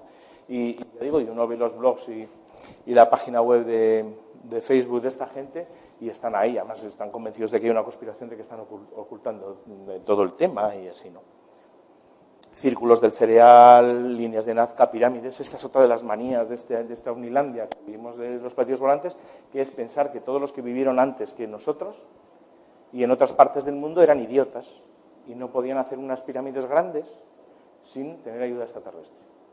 O no podían pintar unas, eh, quitar unas piedras en la pampa del ingenio en Perú en lo que es hoy Perú, eh, sin la ayuda de unos extraterrestres que estuvieran controlando desde sus platillos volantes, ¿no? como pasa con las líneas de Nazca. O, hacen experimentos genéticos con las mujeres, secuestrándolas y robándoles los, eh, esas cosas adopciones, ¿no? o, esas películas que nos dan a ver un, ovni y tal, ¿no? que luego al final acaba siendo una campaña de publicidad de Terra o una cosa de estas, porque ahora cualquier imagen o cualquier vídeo que veamos es falso, salvo que se demuestre lo contrario. Es decir, hay técnicas de manipulación perfectamente válidas y no hay un, vídeo de ovni verdadero. ¿no? Eh, sin embargo, ya veis, esto, esto, estaba puesto el otro día por ahí. El caso Roswell fue real. El otro día se celebraban eh, hasta, hasta eh, hasta Google cambió su, presentación, el Moodle, el otro día para hablar del área 51 y de todos estos contubernios de, los extraterrestres, de los platillos estrellados y todo este tipo de cosas. O sea que fijaros que un tema que dices, no ha aportado nada al conocimiento del mundo, no, sabemos nada de lo que conocemos del universo, ni de los viajes espaciales, ni nada, gracias a, toda esta cosa de la ovnilogía o de la ufología, ¿no? En absoluto, nada, nada de conocimiento interesante solamente un montón de mangarranes que, están ahí. ¿no? Eh, bueno, el interés que, que, va mostrando los trenes, las tendencias de Google, va a la baja, ¿no? pero de vez en cuando hay, esos picos. ¿no? Esos picos suelen estar asociados a la, aparición en, YouTube de algún vídeo, de un verdadero vídeo falso de, de, ovnis. Vídeo sobre Israel, ¡pum! Y de repente hay un pico, todo el mundo hay, y algún medio de comunicación lo, lo remite, lo retuitea, lo, lo, pone, y entonces todo el mundo se pone a hablar unos días de ovnis y luego se nos olvida. ¿no? Eh, es a la baja. O sea, decir, lo, pongo como, como ejemplo de, de, cosas que ni siquiera son noticia, mm, son evidentemente bulos, y sin embargo, a pesar de eso, se mantiene ese ruido eh, dentro de las, eh, del ruido de Internet. Había un, chiste que eran los de KXTD, una, una tira que hay en Internet que era muy bueno, que es eh, porcentaje de la población estadounidense que lleva cámaras a, cualquier sitio donde, donde, donde van, ¿no? en cada momento de su vida. dice Claro, actualmente lleva todo el mundo una cámara. O sea, vosotros de aquí sacáis, me voy a caer yo aquí de cabeza y seguro que salía en algún sitio grabado, ¿no? Bueno, sí, me están grabando además. Pero bueno, eh, pero es difícil, ¿no? No sé si recordáis en marzo, cuando este, eh, este bólido entró en la atmósfera en, Rusia, creo que era, eh, la cantidad de vídeos que había, ¿no? Resulta que ahí la gente, como no te fías de que te vayan a timar en, los policías y tal, todo el mundo lleva puesta una cámara en el coche. Y todo el mundo se va grabando constantemente todo lo que haga en el coche. ¿no? Entonces, joder, afortunadamente, pues para los investigadores, la, red española, por ejemplo, de, observación de, bólidos y meteoros y tal, eh, está teniendo una ayuda enorme eh, porque aparte de las cámaras que están poniendo por todo el territorio para, observar el cielo por las noches, tienen la ayuda de un montón de cámaras de seguridad que, a veces registran esos bólidos y que permite trazar mejor la trayectoria. ¿no? Bueno, pues es, realmente improbable que, apareciera por aquí, que entrara algo en la atmósfera y no, se descubriera. Es decir, igual hace unos años todavía podías creer que era difícil, que era, posible, pero, pero no, ni siquiera. ¿eh? Ya en los años 50, Estados Unidos y Rusia que tenían mucho miedo el uno del otro, era la Guerra Fría, establecieron un sistema por el cual cualquier pequeña eh, cosa de, que irrumpiera o un pequeño estallido, una, una prueba nuclear, pudiera ser detectada por sistemas de detección en cualquier parte del mundo. Actualmente lo son. Los registros sísmicos hablarían de, la, de, cualquier cosa de estas. Nada de eso, nada, nada, nada, nada, nada, nada nos permite pensar que estamos siendo visitados por extraterrestres, salvo, salvo que de forma deliberada consigan que no se pueda sacar fotos, con lo cual entonces estamos en un razonamiento bastante circular. Eh, otro tema que siempre me, resulta eh, curioso en los últimos años, eh, lo de la luna. ¿no? yo suelo dar a veces charlas a, chavales de, instituto y te encuentras con que un, porcentaje, normalmente más de la mitad de los chavales de, de un cuarto de eso, una cosa así, creen que hay algo oculto en lo de la luna. El otro día celebrábamos los 44 años de, del viaje del Apolo 11, ¿no? de la llegada a la Luna del Apolo 11, y, y mucha gente volvía a decir, sí, sí, pero eso fue un montaje. ¿no? O sea, directamente implicadas entre un millón y dos personas, de, un millón y, dos millones a lo largo de, de, la década de los 60, estuvo trabajando directamente en cosas que fueron a la Luna, con lo cual eh, tendrían que estar mintiendo durante 44 años. ¿Cuánto, dinero hay que pagar a alguien para que oculte esa verdad? ¿no? Y, no pensemos en los soviéticos, que posiblemente era el doble de personas. ¿no? Eh, es, más barato ir a la luna que mentir mm, durante tanto tiempo. ¿no? Eh, sin embargo, una y otra vez se repiten pues, cosas como... ay, aquí creo que tenía un vídeo. Este era muy divertido porque eh, perdón, me voy a ir por aquí atrás. Ya, pero es. Es que son muy patas. Eh, creo que lo tenía por aquí.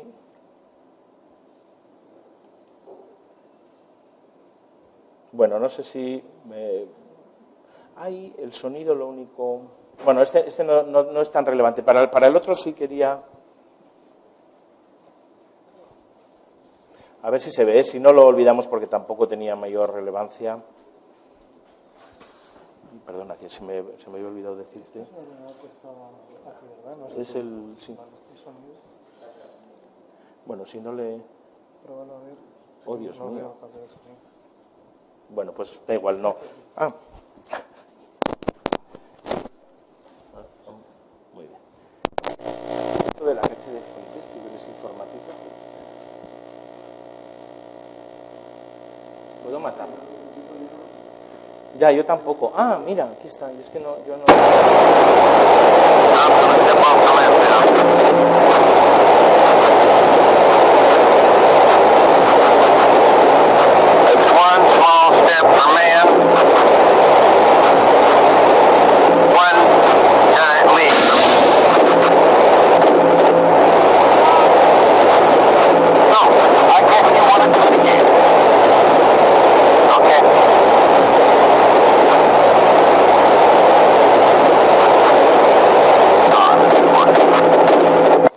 Era un montaje, era un típico fake. Esto es un, vídeo falso de, esos que hay muchos en internet. ¿eh? Está es muy bueno, ¿no? Eh, eh, tuvo un éxito enorme. Pero, pero yo ya lo he visto más de una y más de dos veces puesto como prueba verdadera de que algo pasó, ¿no? hace unos años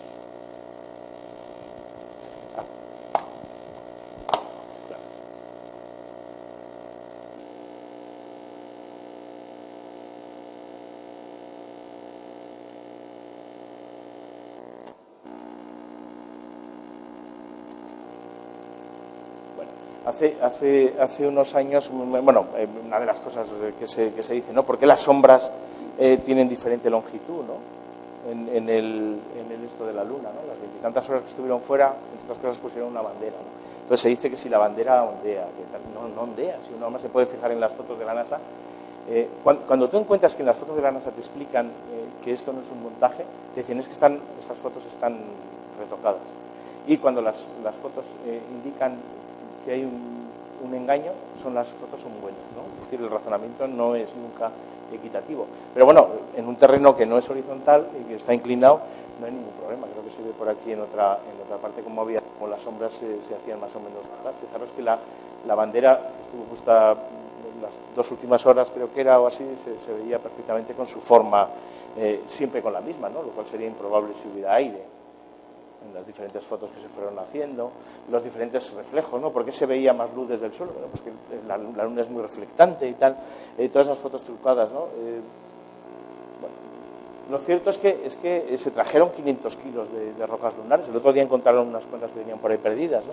Y esas, esas rocas no son terrestres, no tienen una composición de nada terrestre la forma que tiene la erosión de los granos de polvo lunares muestra que la erosión principalmente es a base de micrometeoritos que han ido chocando, que es una erosión completamente diferente de la de los granos de polvo de la Tierra. Y eso muestra, eso no se puede hacer en un laboratorio en la Tierra fácilmente. Eh, los espejos que hay en la Luna se puede coger un, láser y dirigirlos, esto se hace, y hay diversos proyectos que lo han ido haciendo, ahora se han ido quitando muchos de ellos por falta de, de presupuesto, pero uno puede comprobar que está ahí. Había cientos de miles de radioaficionados que fueron recogiendo en directo las, las, eh, las, señales y con los retardos muestran que no era realmente un, Pero da igual, porque el mito, la duda, se sembró hace un montón de años y se ha ido repitiendo. Y los programas, de hecho, normalmente cuando hablan de lo de la Luna, hablan siempre de esto de la conspiración lunar. Entonces, eh, pues, pues acaba uno creyéndoselo. De hecho, eh, William Carell, por encargo de arte del canal este de cultura de televisión europeo, eh, hizo una, un, documentario, como se llama el género, un falso documental, en el cual eh, se llamaba Operación Luna, la cara oculta de la Luna, eh, en el cual decía que Stanley Kubrick había tenido un encargo muy especial en el año 69 y era que la NASA se había dado cuenta que, que podía ir a la Luna pero no podía filmarlo, no podía mandar las imágenes de televisión. Entonces, a cambio de proporcionarle unas lentes especiales con las que eh, con las que Kubrick podría filmar a partir de ahí sus escenas tenues solo iluminadas por una vela, como un barrilito y todas estas cosas, eh, le pidieron que en unos estudios hiciera la retransmisión de la llegada a la Luna. Y entonces era un, es un falso documental muy divertido y os lo recomiendo si, si no lo habéis visto. Eh, se entrevistan a Kissinger, a un montón de políticos, familiares de Kubrick y tal, y, todos ahí van contando. Al final, en los créditos van contando que esto de una, se descojonando, están las tomas falsas y, todo esto. ¿no? Los nombres de los eh, militares implicados en el contubernio de ocultar todo y tal son nombres de las, de las novelas de Arthur Clarke, Philip Bowman y cosas de estas.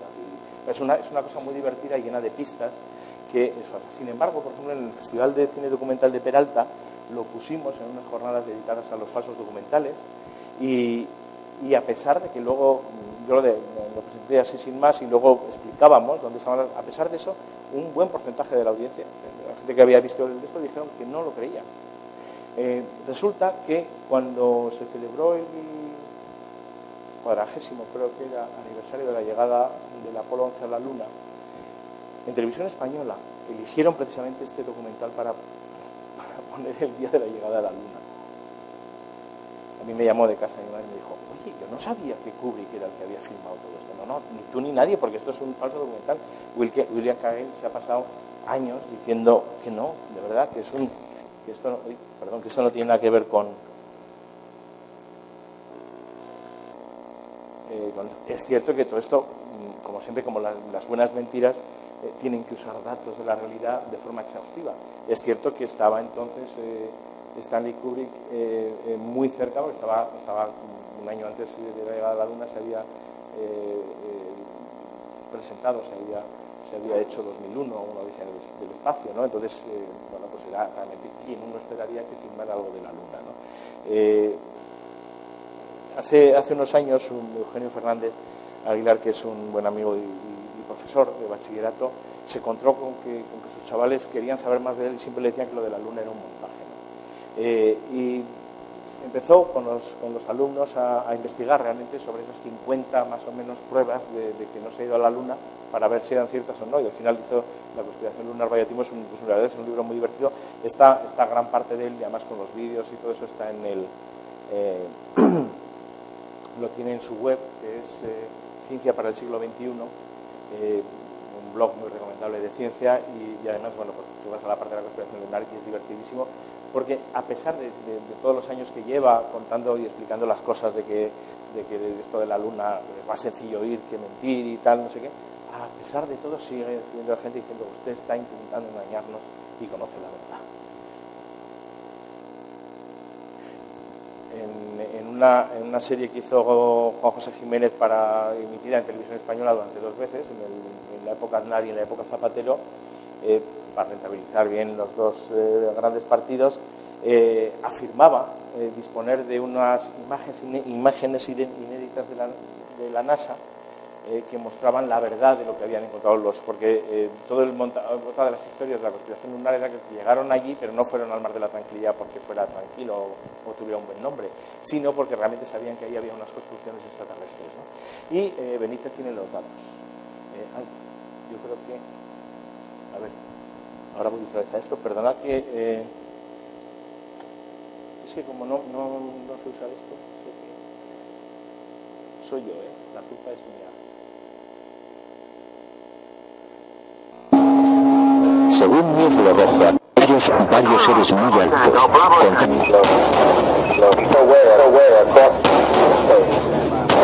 Y llegó el momento culminante, el verdadero objetivo de Apolo 11, la secreta razón que impulsó a los militares a conquistar la Luna.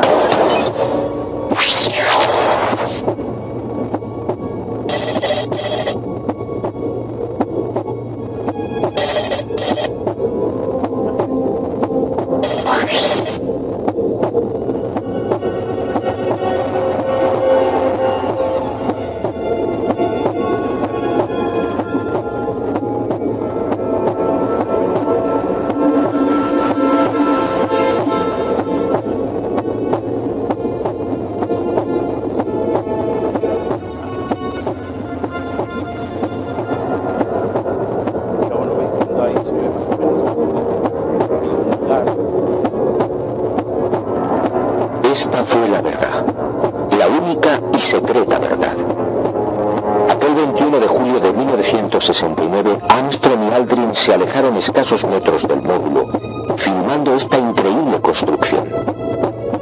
Esta película de 14 minutos jamás fue difundida por NASA.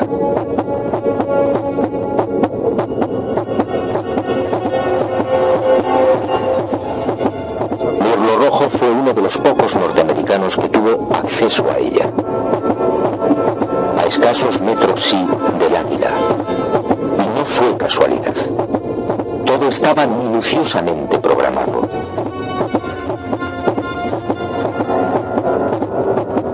Estas misteriosas ruinas, como otras igualmente filmadas por los restantes Apolos, habían sido fotografiadas con anterioridad por las diferentes sondas.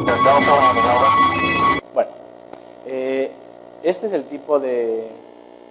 eh, este es el tipo de, de verdad periodística que, que, se, que se ha ido haciendo eh, sobre el tema, ¿no? O sea, es realmente. Esto, esto está emitido, bueno, luego es un vídeo que se ha repartido, en, se ha vendido con, con diferentes periódicos, este país también. Eh, esto se emitió en televisión española, eh, dos veces, y luego se ha vendido y tal. o sea, y, y esta es una de las autoridades periodísticas del mundo de lo, de lo oculto y lo paranormal. ¿no? Él no ha querido reconocerlo, ¿no? él dice que, que, que él en ningún momento dice que esas sean imágenes de la NASA real que lo que hicieron, lo que hizo fue con, ese documento que se lo pasó Mirlo Rojo, que es un contacto suyo en, la CIA, eh, crearon esta animación similar a la esta, pero porque, porque no tiene autorización para dar esa verdad. Por favor. Antes se le pilló un mentiroso con cojo, decía. Evidentemente hay otros eh, que no se creen tantas cosas y, hace unos años pues se veía la- la- las misiones lunares pues eh, veían ahí los restos. Se ven poquito, pero ahí están los restos del Apolo 11, ahí está el, módulo Eagle, que se quedó en la Luna y tal, la primera basura extraterrestre que hemos dejado en la Tierra. Otro ejemplo que quiero poner de la responsabilidad deliberada de, algunos, eh, de algunos periodistas que además son premiados por los periodistas, por la Academia de Televisión, la premió varias veces a Iker Jiménez por tal, eh, eh, presentó el caso, mm, vamos a, verlo aquí, vemos la, un trocito de la, de la secuencia. El caso de- del cosmonauta fantasma, como le podemos llamar. Les hablaba del cosmonauta fantasma, un nombre inquietante para una profesión llena de secretismos, por lo menos en la vieja Unión Soviética. Y me explico, en el año 2001 el periódico Pravda, organismo oficial durante tanto tiempo de esa zona del planeta, afirmaba que ni más ni menos había habido tres personas los nombres en un principio eran X1, X2 y X3, es decir, anónimos, que habían sido lanzados al espacio antes de Yuri Gagarin y que habían muerto por la descompresión. Si esto es verdad, estos informes fueron ocultados durante 40 largos años. Pero es que la perestroika desempolvó otras historias igualmente apasionantes. El cosmonauta fantasma, ¿quieren conocerlo?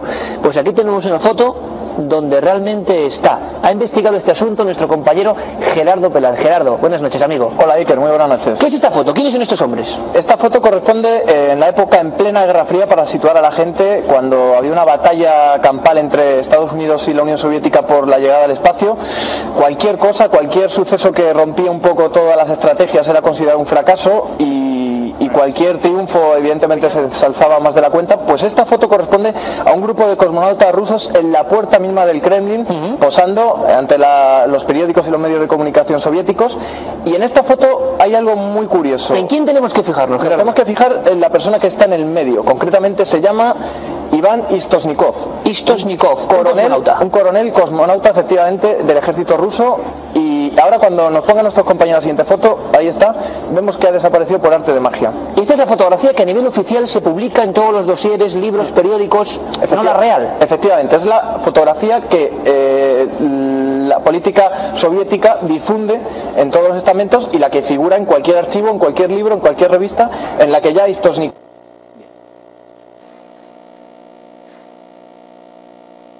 Impresionante que con el tema de la perestroika se lograra saber eh, la historia de Iván Stosnikov, este cosmonauta eh, fantasma, del cual eh, en, en una subasta casualmente se habían encontrado muchísimos materiales.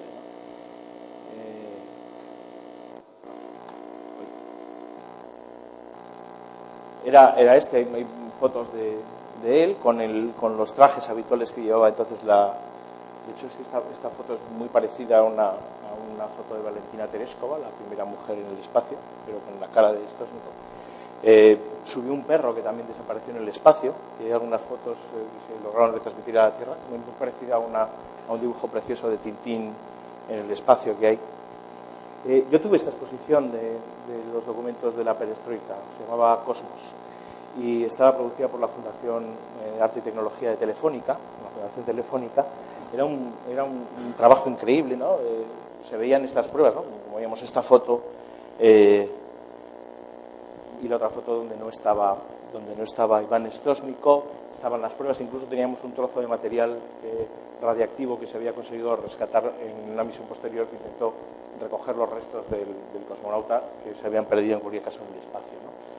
eh, estaban las partidas que mantenía con, con Baikonur, con el centro de control en la Tierra, gustaba el ajedrez y las partidas que más sostenía y bueno, un montón de memorabilia, de, objetos, de recuerdos de, la misión que se han ido recopilando eh, gracias al trabajo de esta persona que guardaba cierto sospechoso inquietante, digamos, Carmen, inquietante parecido con, eh, con Iván Istosnikov, que se llama Joan Foncuberta periodista, fotoperiodista, artista, y que desde un montón de, años atrás eh, lleva investigando cosas como las sirenas que había en el río Tormes, al lado de Salamanca, o los milagros que unos monjes de Carelia eran capaces de hacer produciendo eh, poderes mentales o, u, otros tipos. Eh, su reflexión como profesor de comunicación ha sido siempre que no es verdad que la imagen sea siempre real y que la manipulación que el periodismo puede hacer, el periodismo de imagen puede hacer, es muy importante.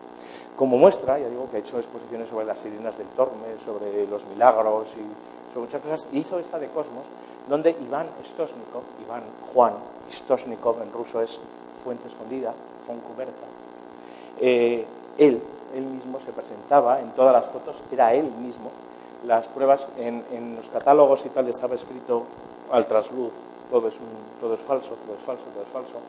Eh, el juego era que no lo dijera nadie, ¿no? De hecho, a mí me vino un, delegado de, del, organismo de protección radiológica del gobierno de Navarra con un detector Geiger diciendo, pero ¿cómo puedes tener una piedra, eh, cómo has podido tener aquí una muestra radiactiva? Digo yo, por favor, es un trozo de, de piedra, sin más, que hemos puesto aquí diciendo, poníamos una nota, embarazadas no acercarse, puede ser radiactivo. Bueno, pues nos vino un, uno con un contador Geiger y comprobó que no era especialmente radiactivo. El, juego, el juego eh, lo curioso es que tú metes Iván Istosnikov en Google y te salen no menos de 100 referencias a Joan Foncuberta a una exposición que ha viajado por todo el mundo y que ha sido, eh, en los años 90, pues un, un, gran trabajo sobre, sobre, ya digo, esa reflexión del, del, fotoperiodismo sobre la realidad inventada, la realidad ficticia. ¿no? Ahora ya, en la época, podríamos decir, pre, en la época del inicio de Photoshop, ¿no? ahora ya en la época, en la época actual, pues, pues todavía esto ya no, casi no tiene ni sentido. ¿no? Pero, pero era bastante curioso. Eh, por supuesto, cuando, cuando ese programa se emitió, veis que, tal como lo presentaba era todo cierto, era una investigación que había hecho su compañero eh, Gerardo Peláez, qué curioso, qué impresionante, se ha podido saber gracias a esto, esto es cierto, esto es cierto, esto es cierto, eso estaba transmitiéndose una y otras veces. Eh, eh cuando, eh, cuando se, vamos, cuando alguien me dijo, oye, que, está saliendo lo de vuestra exposición en el, en el esto, dije, no puede ser. Le llamé inmediatamente a Iván Foncuberta y el día siguiente publicó una carta en el país diciendo, ya tardó en, suceder, pero finalmente sucedió, alguien se creyó que esto era cierto. Eh, estas mentiras las hacemos, decía, para que alguien acabe creyéndose que, que era cierto. Eh, ¿Qué pasó al, la semana siguiente en el, en el programa de Iker Jiménez? Pues que eh, evidentemente a través de las redes y tal, todo el mundo, oh, oh, oh, no sé qué, ya están los estéticos machacando, que envidia le tienen a Iker Jiménez, que tiene mucho éxito de audiencia y tal. Y entonces, pero aún así era, eh, había salido en el país, que es el propietario también, bueno, de la misma, de la misma empresa que tiene Gracias a ti, Iker. Por cierto que ahora, si me permiten el juego de palabras, pasamos del prenauta al cosmonauta fantasma. La verdad es que tengo que agradecerles la cantidad increíble de mensajes, de cartas que muchos amigos de Cuarto Milenio nos han enviado intentando que sepamos lo que era en definitiva una auténtica leyenda urbana cósmica, que también las hay. Hablábamos de cosmonautas perdidos y hablábamos de la historia de Istosnikov. Bueno, pues estos amables amigos nos decían que eso en realidad tenía un origen que es digno de, de otra historia realmente extraña una mm, exposición de un fotógrafo célebre en Cataluña, Joan Foncuberta, que hizo un trabajo muy polémico mezclando realidad y ficción y creando esta historia de ese cosmonauta perdido que aquí recordábamos. Desde luego que tengo que agradecer enormemente que nos hayan desvelado esta historia, pues bueno, simpática, curiosa y también decir muy claramente que hemos recibido muchas eh, cartas, mensajes de observatorios, incluso militares, que nos invitan a hacer cuarto milenio desde allí. Les tomamos la palabra, ojalá en la próxima temporada podamos hacerlo y así la. Eso me lo dedicaba a mí. Me lo dedicaba a mí que el año anterior le había jodido una alerta OVNI eh, y había conseguido que los observatorios astronómicos y los planetarios no colaboraran con, con, esto. ¿no? Sí le siguen llamando. Eh, lo gracioso es, ya veis, que en ningún momento reconoce que toda esa pieza que había llenado 20 minutos de programa la semana anterior era falsa, engañosa y estaba hecha con el culo, porque solo bastaba con mirar en, en cualquier buscador y saber la verdadera historia de Iván Stosnik. O sea, no, no, es que se lo desvelaran algunos amigos que se habían puesto en contacto con ellos para hablar de esa leyenda urbana cósmica. No, no. Es eh, un ejercicio deliberado de, eh, bueno, pues de, de mala praxis eh, periodística. Pero bueno, es el, ese es, este es el tipo de cosas que alguno, alguno puede decir, bueno, visto lo que está pasando en el periodismo en política, en economía, pues tampoco te vas a quejar de lo que pasa en estos temas, ¿no? Claro, viéndolo así, pues sí es cierto. Bueno, vamos a ir concluyendo, porque yo creo que ya he hablado demasiado y hay muchísimos más temas. Yo sé que esto es, muy sesgado, he cogido los que me vienen bien así y me apetecía, pero en cualquier caso. Eh, decía James Rutherford, que es un, es un, físico que se ha encargado él, y, además didáctico y, profesor de, y enseñante de la física, le, le encargaron en el, en el año 86 la, la Asociación Americana Estadounidense para el Avance de la Ciencia, la principal asociación científica eh, estadounidense y de hecho del mundo, en el número que es la que publica la revista Science, le, se planteó un grupo, un grupo cercano a la dirección que además habían sido asesores de, Carter, creo, eh, de ciencia.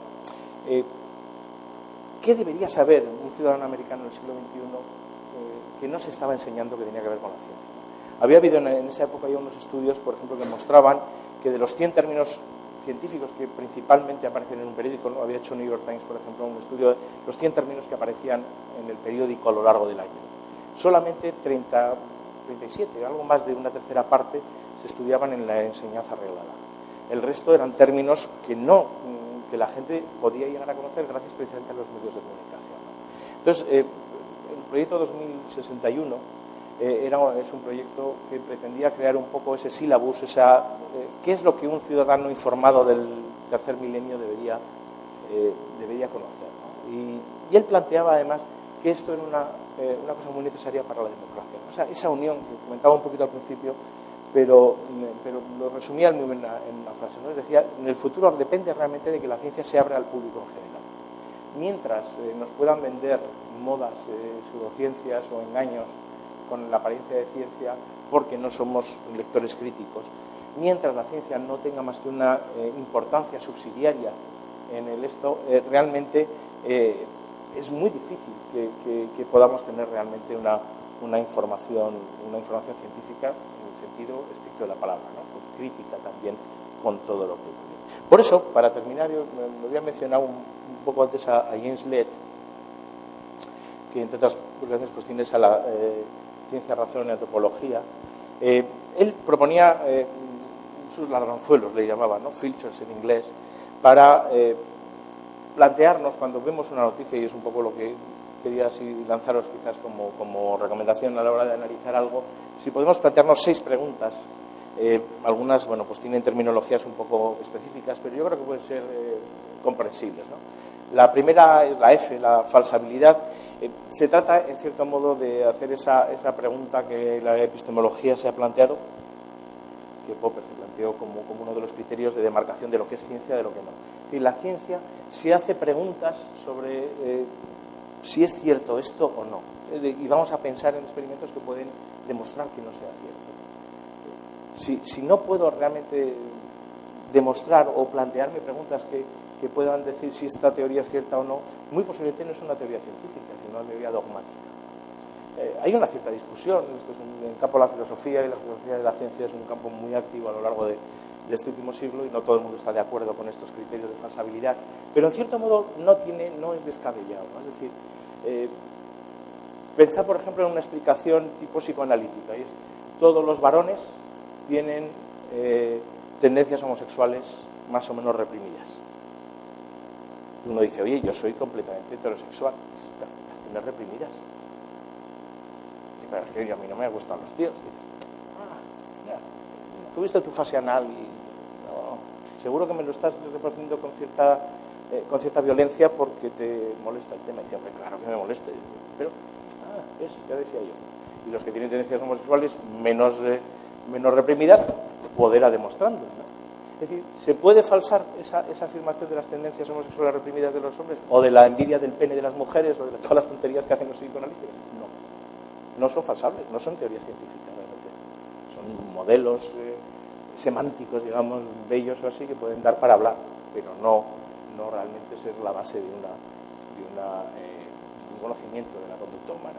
Eh, la falsabilidad, por lo tanto, es una herramienta, de digo, no siempre, no siempre es fácil. Uno no tiene.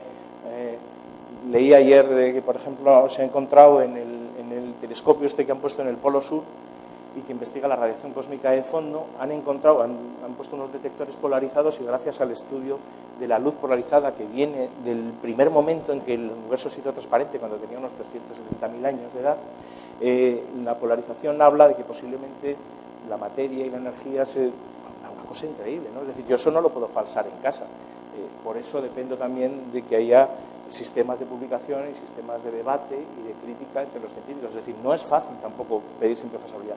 Pero a veces sí nos podemos pensar, ¿no? Es decir, esta teoría que nos venden realmente tiene ese aval de que alguien ha reflexionado sobre si es, eh, sobre si es científica o no. Hay un paso también fundamental que a veces se olvida y es si, si, realmente eh, se nos presenta algo con, con una cierta lógica. ¿no? Es decir, a veces por ejemplo, se suele decir eh, el ciclo menstrual de las mujeres está asociado a la luna. ¿Por qué? Y, la línea de argumentación que suelen decir es, bueno, tú no has visto las mareas. Nosotros somos un sesenta y tantos por ciento de agua, hablamos del ciclo menstrual, que es una cosa líquida, y entonces la luna, ¿cómo no va a tener influencia? Eso en plan lógica aristotélica, tiene la misma, eh, ese silogismo, que nos parece tan razonable y que lo habréis oído posiblemente alguna vez mencionado. Eh, es de la misma calidad de los perros tienen cuatro patas, los gatos tienen cuatro patas, luego los gatos son perros. Es así, ¿no? No es A, entonces B, tal, tal. Dices, no se sigue, no es, no, no, no es un, una consecuencia lógica. Sin embargo, hay cosas que tienen la apariencia de, eso y que sin embargo son, incorrectamente, son incorrectas lógicamente. Gran parte, o sea, cuando te pones a pensar en los poderes paranormales, cuando yo tengo aquí una carta y, y alguien ha adivinado qué carta era, lo ha hecho porque me ha leído la mente que yo estaba viéndola, porque su campo de energía es capaz de dar la vuelta y verlo, hacer una especie de visión remota, porque se ha adelantado en el tiempo y ha visto cuando yo le daba la vuelta y entonces he ido hacia atrás en el tiempo y lo ha contado. ¿Cuál de las explicaciones es válida? Hombre, no es lógico. No hace falta. Igual es que se me ha reflejado la carta en la gafa. Puede haber una, una explicación convencional más. Hay un aspecto que, que, no conviene desdeñar, y visto los ejemplos que veíamos de, de falta de honradez periodística, por poner un tipo de falta, o, o de falta de honradez científica, como en el caso de Wix y, así, eh, no siempre, no siempre las cuestiones se nos presentan no son de buena fe, es decir, tampoco tenemos por qué sospechar siempre del vecino. Decía Carl Sagan eh, que posiblemente si tu vecino te dice que, que en, detrás o en el garaje tiene una Harley Davidson de, de setenta y tantos, pues le puedes creer o no, y si te gustan las motos, pues quedarás con él para verlo. Pero si te dice que tiene, si tiene un, si tiene un, unicornio, que por mucho, que te lleves bien con el vecino y compartáis, eh, unas birras, pues habrá que pedirle una buena demostración ¿no? de que eso no es un caballo pintado con un, con un cuerno de narval, yo qué sé, ese tipo de cosas. Es decir, que, ¿por qué te va a contar alguien eso? Está siendo honrado, está, hay una cierta, eh, digamos, sana, yo creo que además presentación de los, de los datos. Hay, hay, posibilidad de autoengaño. Eh, en otros casos, alguien podría decir también, traducirlo, ¿qué me quiere vender en el, en el fondo? ¿Me está vendiendo un tratamiento, una dieta? una nueva medicina, un no sé qué. La cuestión de la replicabilidad, que lo comentaba antes en alguno de los casos, es muy importante y es uno de los procesos que más, que más. Fijaros, eh, que más cuestan eh, hacer entender, sobre todo en la comunicación, por ejemplo, de, los, de, la, de, eh, las investigaciones en medicina. cuando sale, desarrollan o descubierto el gen que no sé qué, hasta que, a pesar de que ese mismo día y en la presentación de esa noticia dicen, bueno, de aquí a que esto pueda suponer la existencia de una vacuna o de una terapia y tal, pueden pasar 10, 15 años, o, tal, pues, pues evidentemente la gente ya está y al día siguiente está preguntándole, preguntándole al médico a ver si ese gen le pueden curar con él o no. Es decir, las cosas no se interesan y son rápidas. ¿no? El, el, proceso ese lento de comprobación, de crítica de la ciencia, es un, es un tema que, que, nos resulta incómodo. Pero hay que pedir también aplicabilidad. Es decir, ¿qué pruebas hay o quién ha hecho esos estudios? no, no, sabéis que el año pasado pues, esos estudios de, de, de un grupo francés con, con unos ratones eh, que tras ser alimentados con alimentos transgénicos morían de muerte horrible, ¿no? el grupo de Seralini y tal. Eh, ¿Está replicado ese estudio? No.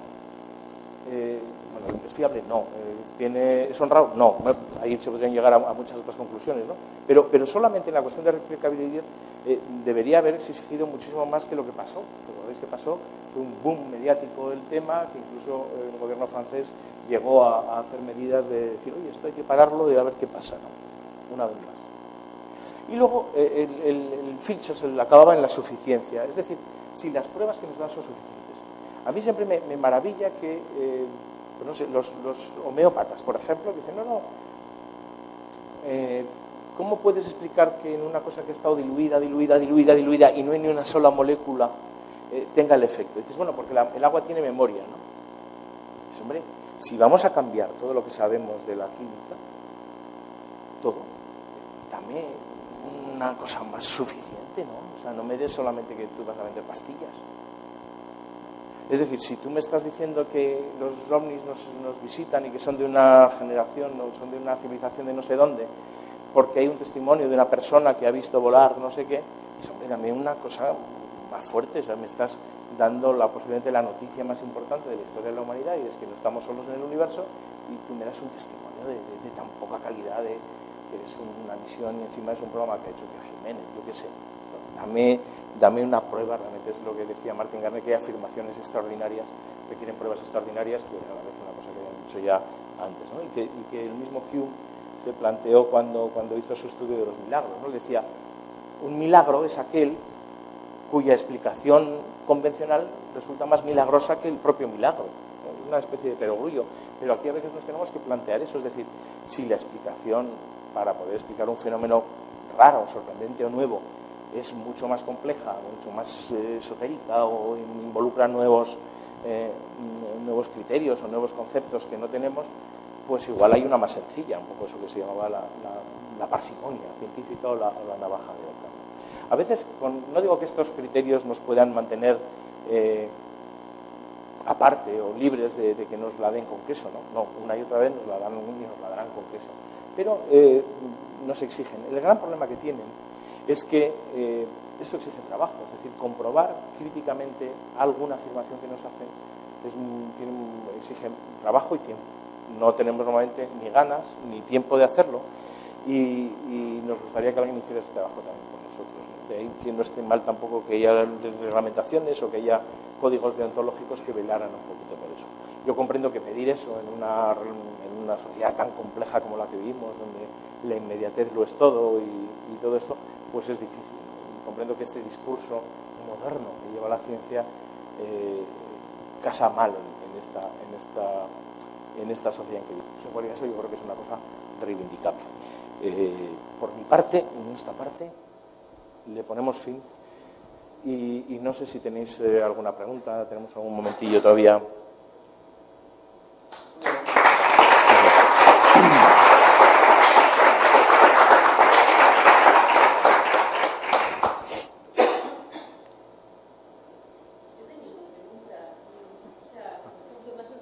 de lo de que si el hombre han llegado a la luna, no han llegado.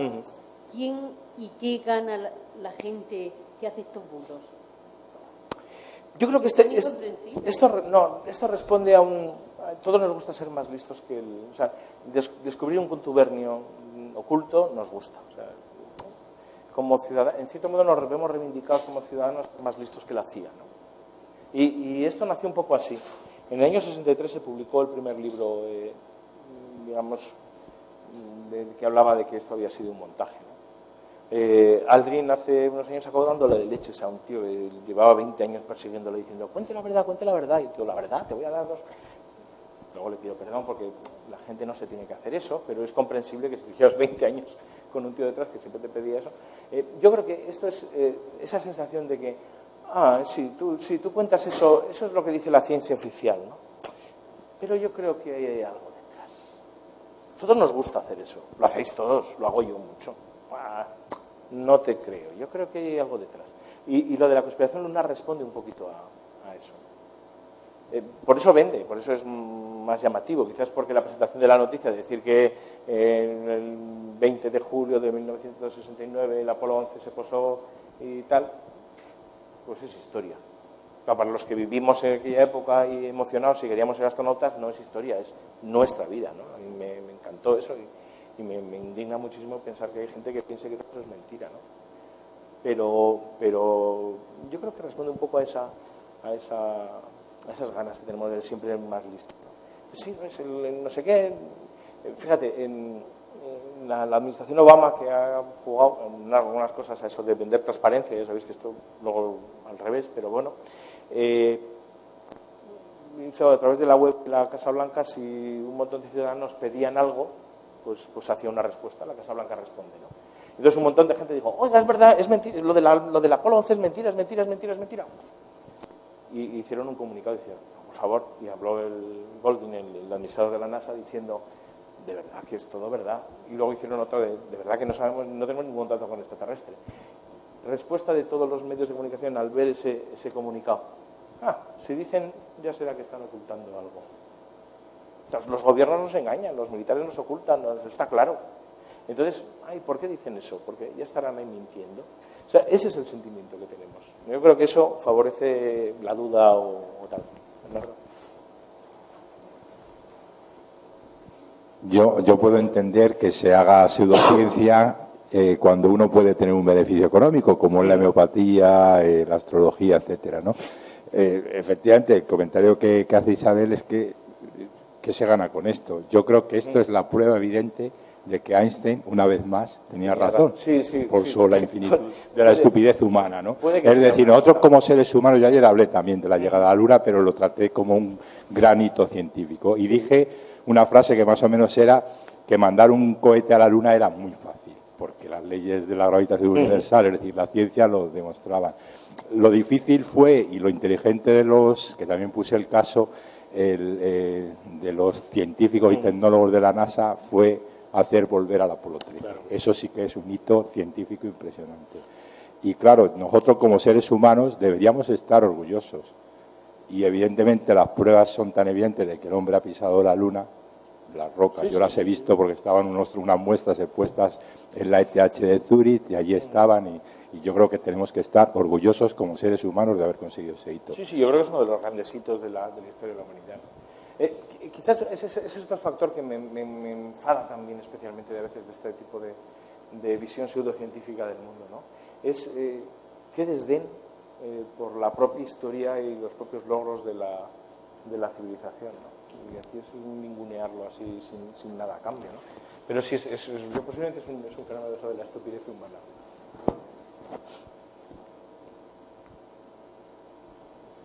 Eh, yo quería saber eh, qué piensa de los bulos sobre los bulos.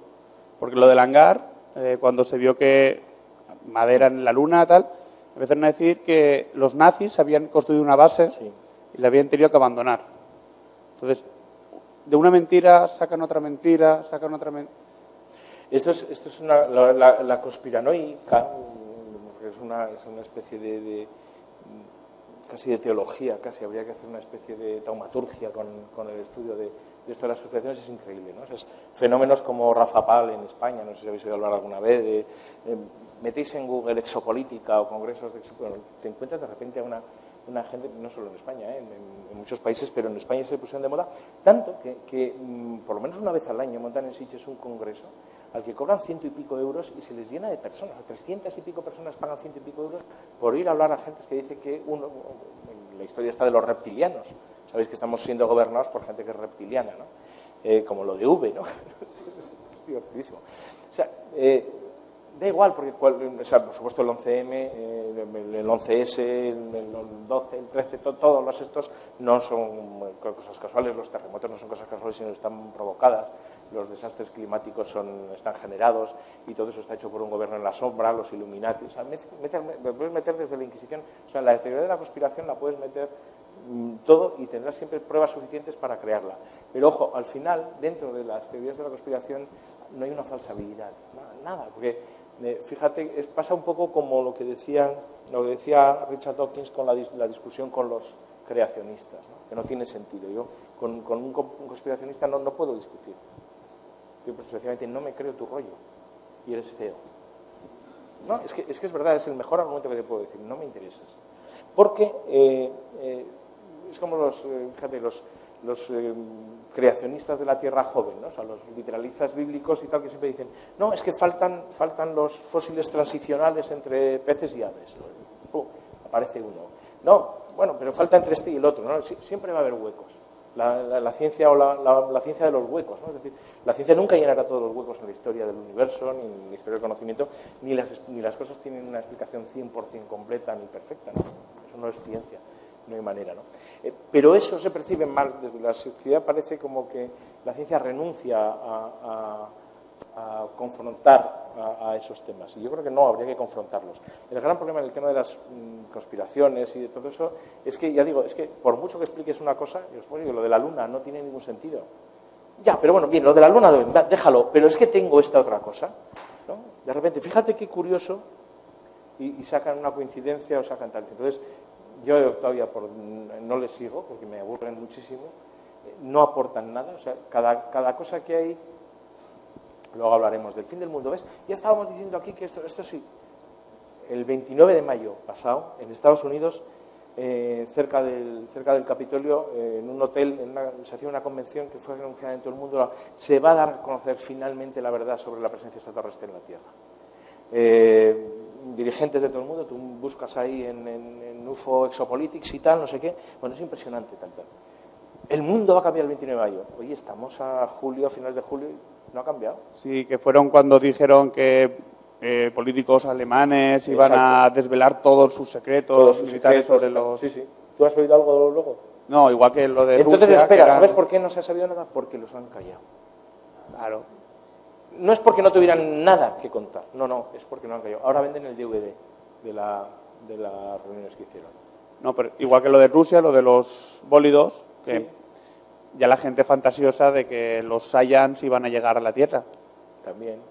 Era... Eh, tenía yo por ahí una, una, una cita muy buena de, de, Jimeno del Oso del año 83 diciendo, eh, muy, dentro de muy poco vamos a tener la confirmación de que, de que el tema de los ovnis no solamente es la evidencia extraterrestre, sino que va a suponer un cambio radical para la especie humana. Se murió el buen hombre y, ahí seguimos. No, o sea, eh, realmente no, no, tiene sentido, pero ese tipo de afirmaciones se hacen porque eh, hay otra cosa que es eh, muy humano, que es, eh, se nos olvida, tenemos poca memoria, ¿no? y entonces nos pueden estar contando una mentira y repetirla tres veces al año y tampoco vamos a, a mirar la hemeroteca. ¿no? De, eso, de eso vive hasta la NASA, de meternos agua en Marte, que lo anuncian varias veces al año porque saben que luego nos olvidamos y vuelve a ser noticia. O, esa noticia de la Voyager está dejando el sistema solar, la publican dos veces al año, más o menos y, y, cada vez siempre llegan los medios de comunicación y dicen, ¡ay va! qué bueno, se está yendo. Digo, sí, lleva yéndose ocho años. Que porque el borde del sistema solar no es aquí está usted dentro y aquí está fuera, ¿no? Pero no, ese tipo de, de- de conspiraciones y tal no tienen una, una solución, salvo que se les confronte ante el hecho que no aportan ni una sola prueba. Eso que me dices no es una prueba, es una tontería. ¿Por qué? ¿Por qué voy a fiar tú? ¿Por qué, por qué me lo dices tú que es cierto y tal?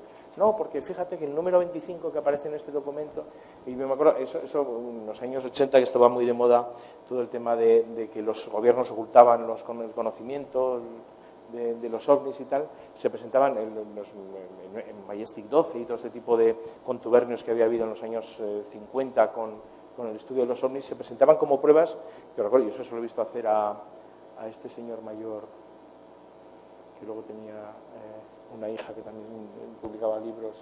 Ahí no sé, bueno, gente de esta del mundo de los ovnis españoles, que se me, se me olvidan los nombres. Este presentaba como prueba una fotocopia de un documento que estaba todo tachado. ¿Ves? Es lo que nos oculta. Y decía, no, no veo. en Estados Unidos el Acta de Libertad de Información ha permitido que todos los informes ovnis se desclasificaran y se fueran conociendo. No había nada. En España el mando operativo aéreo acabó eh, dando eh, lo que había sido el ejército del aire, pues acabó liberando, poniendo a disposición de los investigadores que lo pidieran un montón de información de cientos de casos ovnis que habían sido muy famosos. No hay nada. Eh, en Inglaterra se ha hecho, en Francia se ha hecho, en Canadá, en todos los países han ido liberando esa información antigua y tal, tapando aquello que, no querían que se contara. Y entonces ahora es la ciencia de las manchas. ¿A ves? Esto que está tachado aquí es donde contaba la verdad. ¿O será? Exacto, la teoría de los expedientes X ha funcionado también muy bien. ¿no? Sabéis que eh, España no fue el único, pero fue el país donde más, donde más se creyó la gente la serie, eh, que era una serie de ficción. Eh, y no, no, no, aquí los expedientes X se convirtieron en leitmotiv y muchos programas de radio y Bruno Cardeñosa, Javier Serra, todos estos los vendían como ciertos. Claro, es, es- es que lo dice hasta mal de dice, coño, es un personaje de ficción.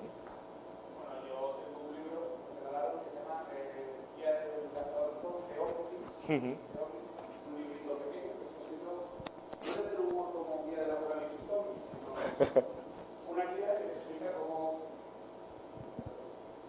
Te explica cómo fabricarte un gorro de papel albal para que no te absorban las radiaciones, cómo de- ca- fabricarte un detector de radiaciones ovnis, los mejores lugares de España para ver ovnis, porque hay una línea interestelar que y tú dices, pero yo me lo leí. Eh, Sí, sí, no, claro, claro. que, eh, dices, hubo una pero- época en la que estaba muy de moda los contactados, ¿no? el contactismo, es esta gente que tenía eh, relación con los extraterrestres y, que- y, yo siempre, cada vez que me, a lo largo de los años 80 y 90 me, encontré con unos cuantos contactos, siempre les pedía algo, les, decía, eh, esta gente que ha viajado por toda la galaxia, eh, ¿tiene algún remedio contra la estupidez?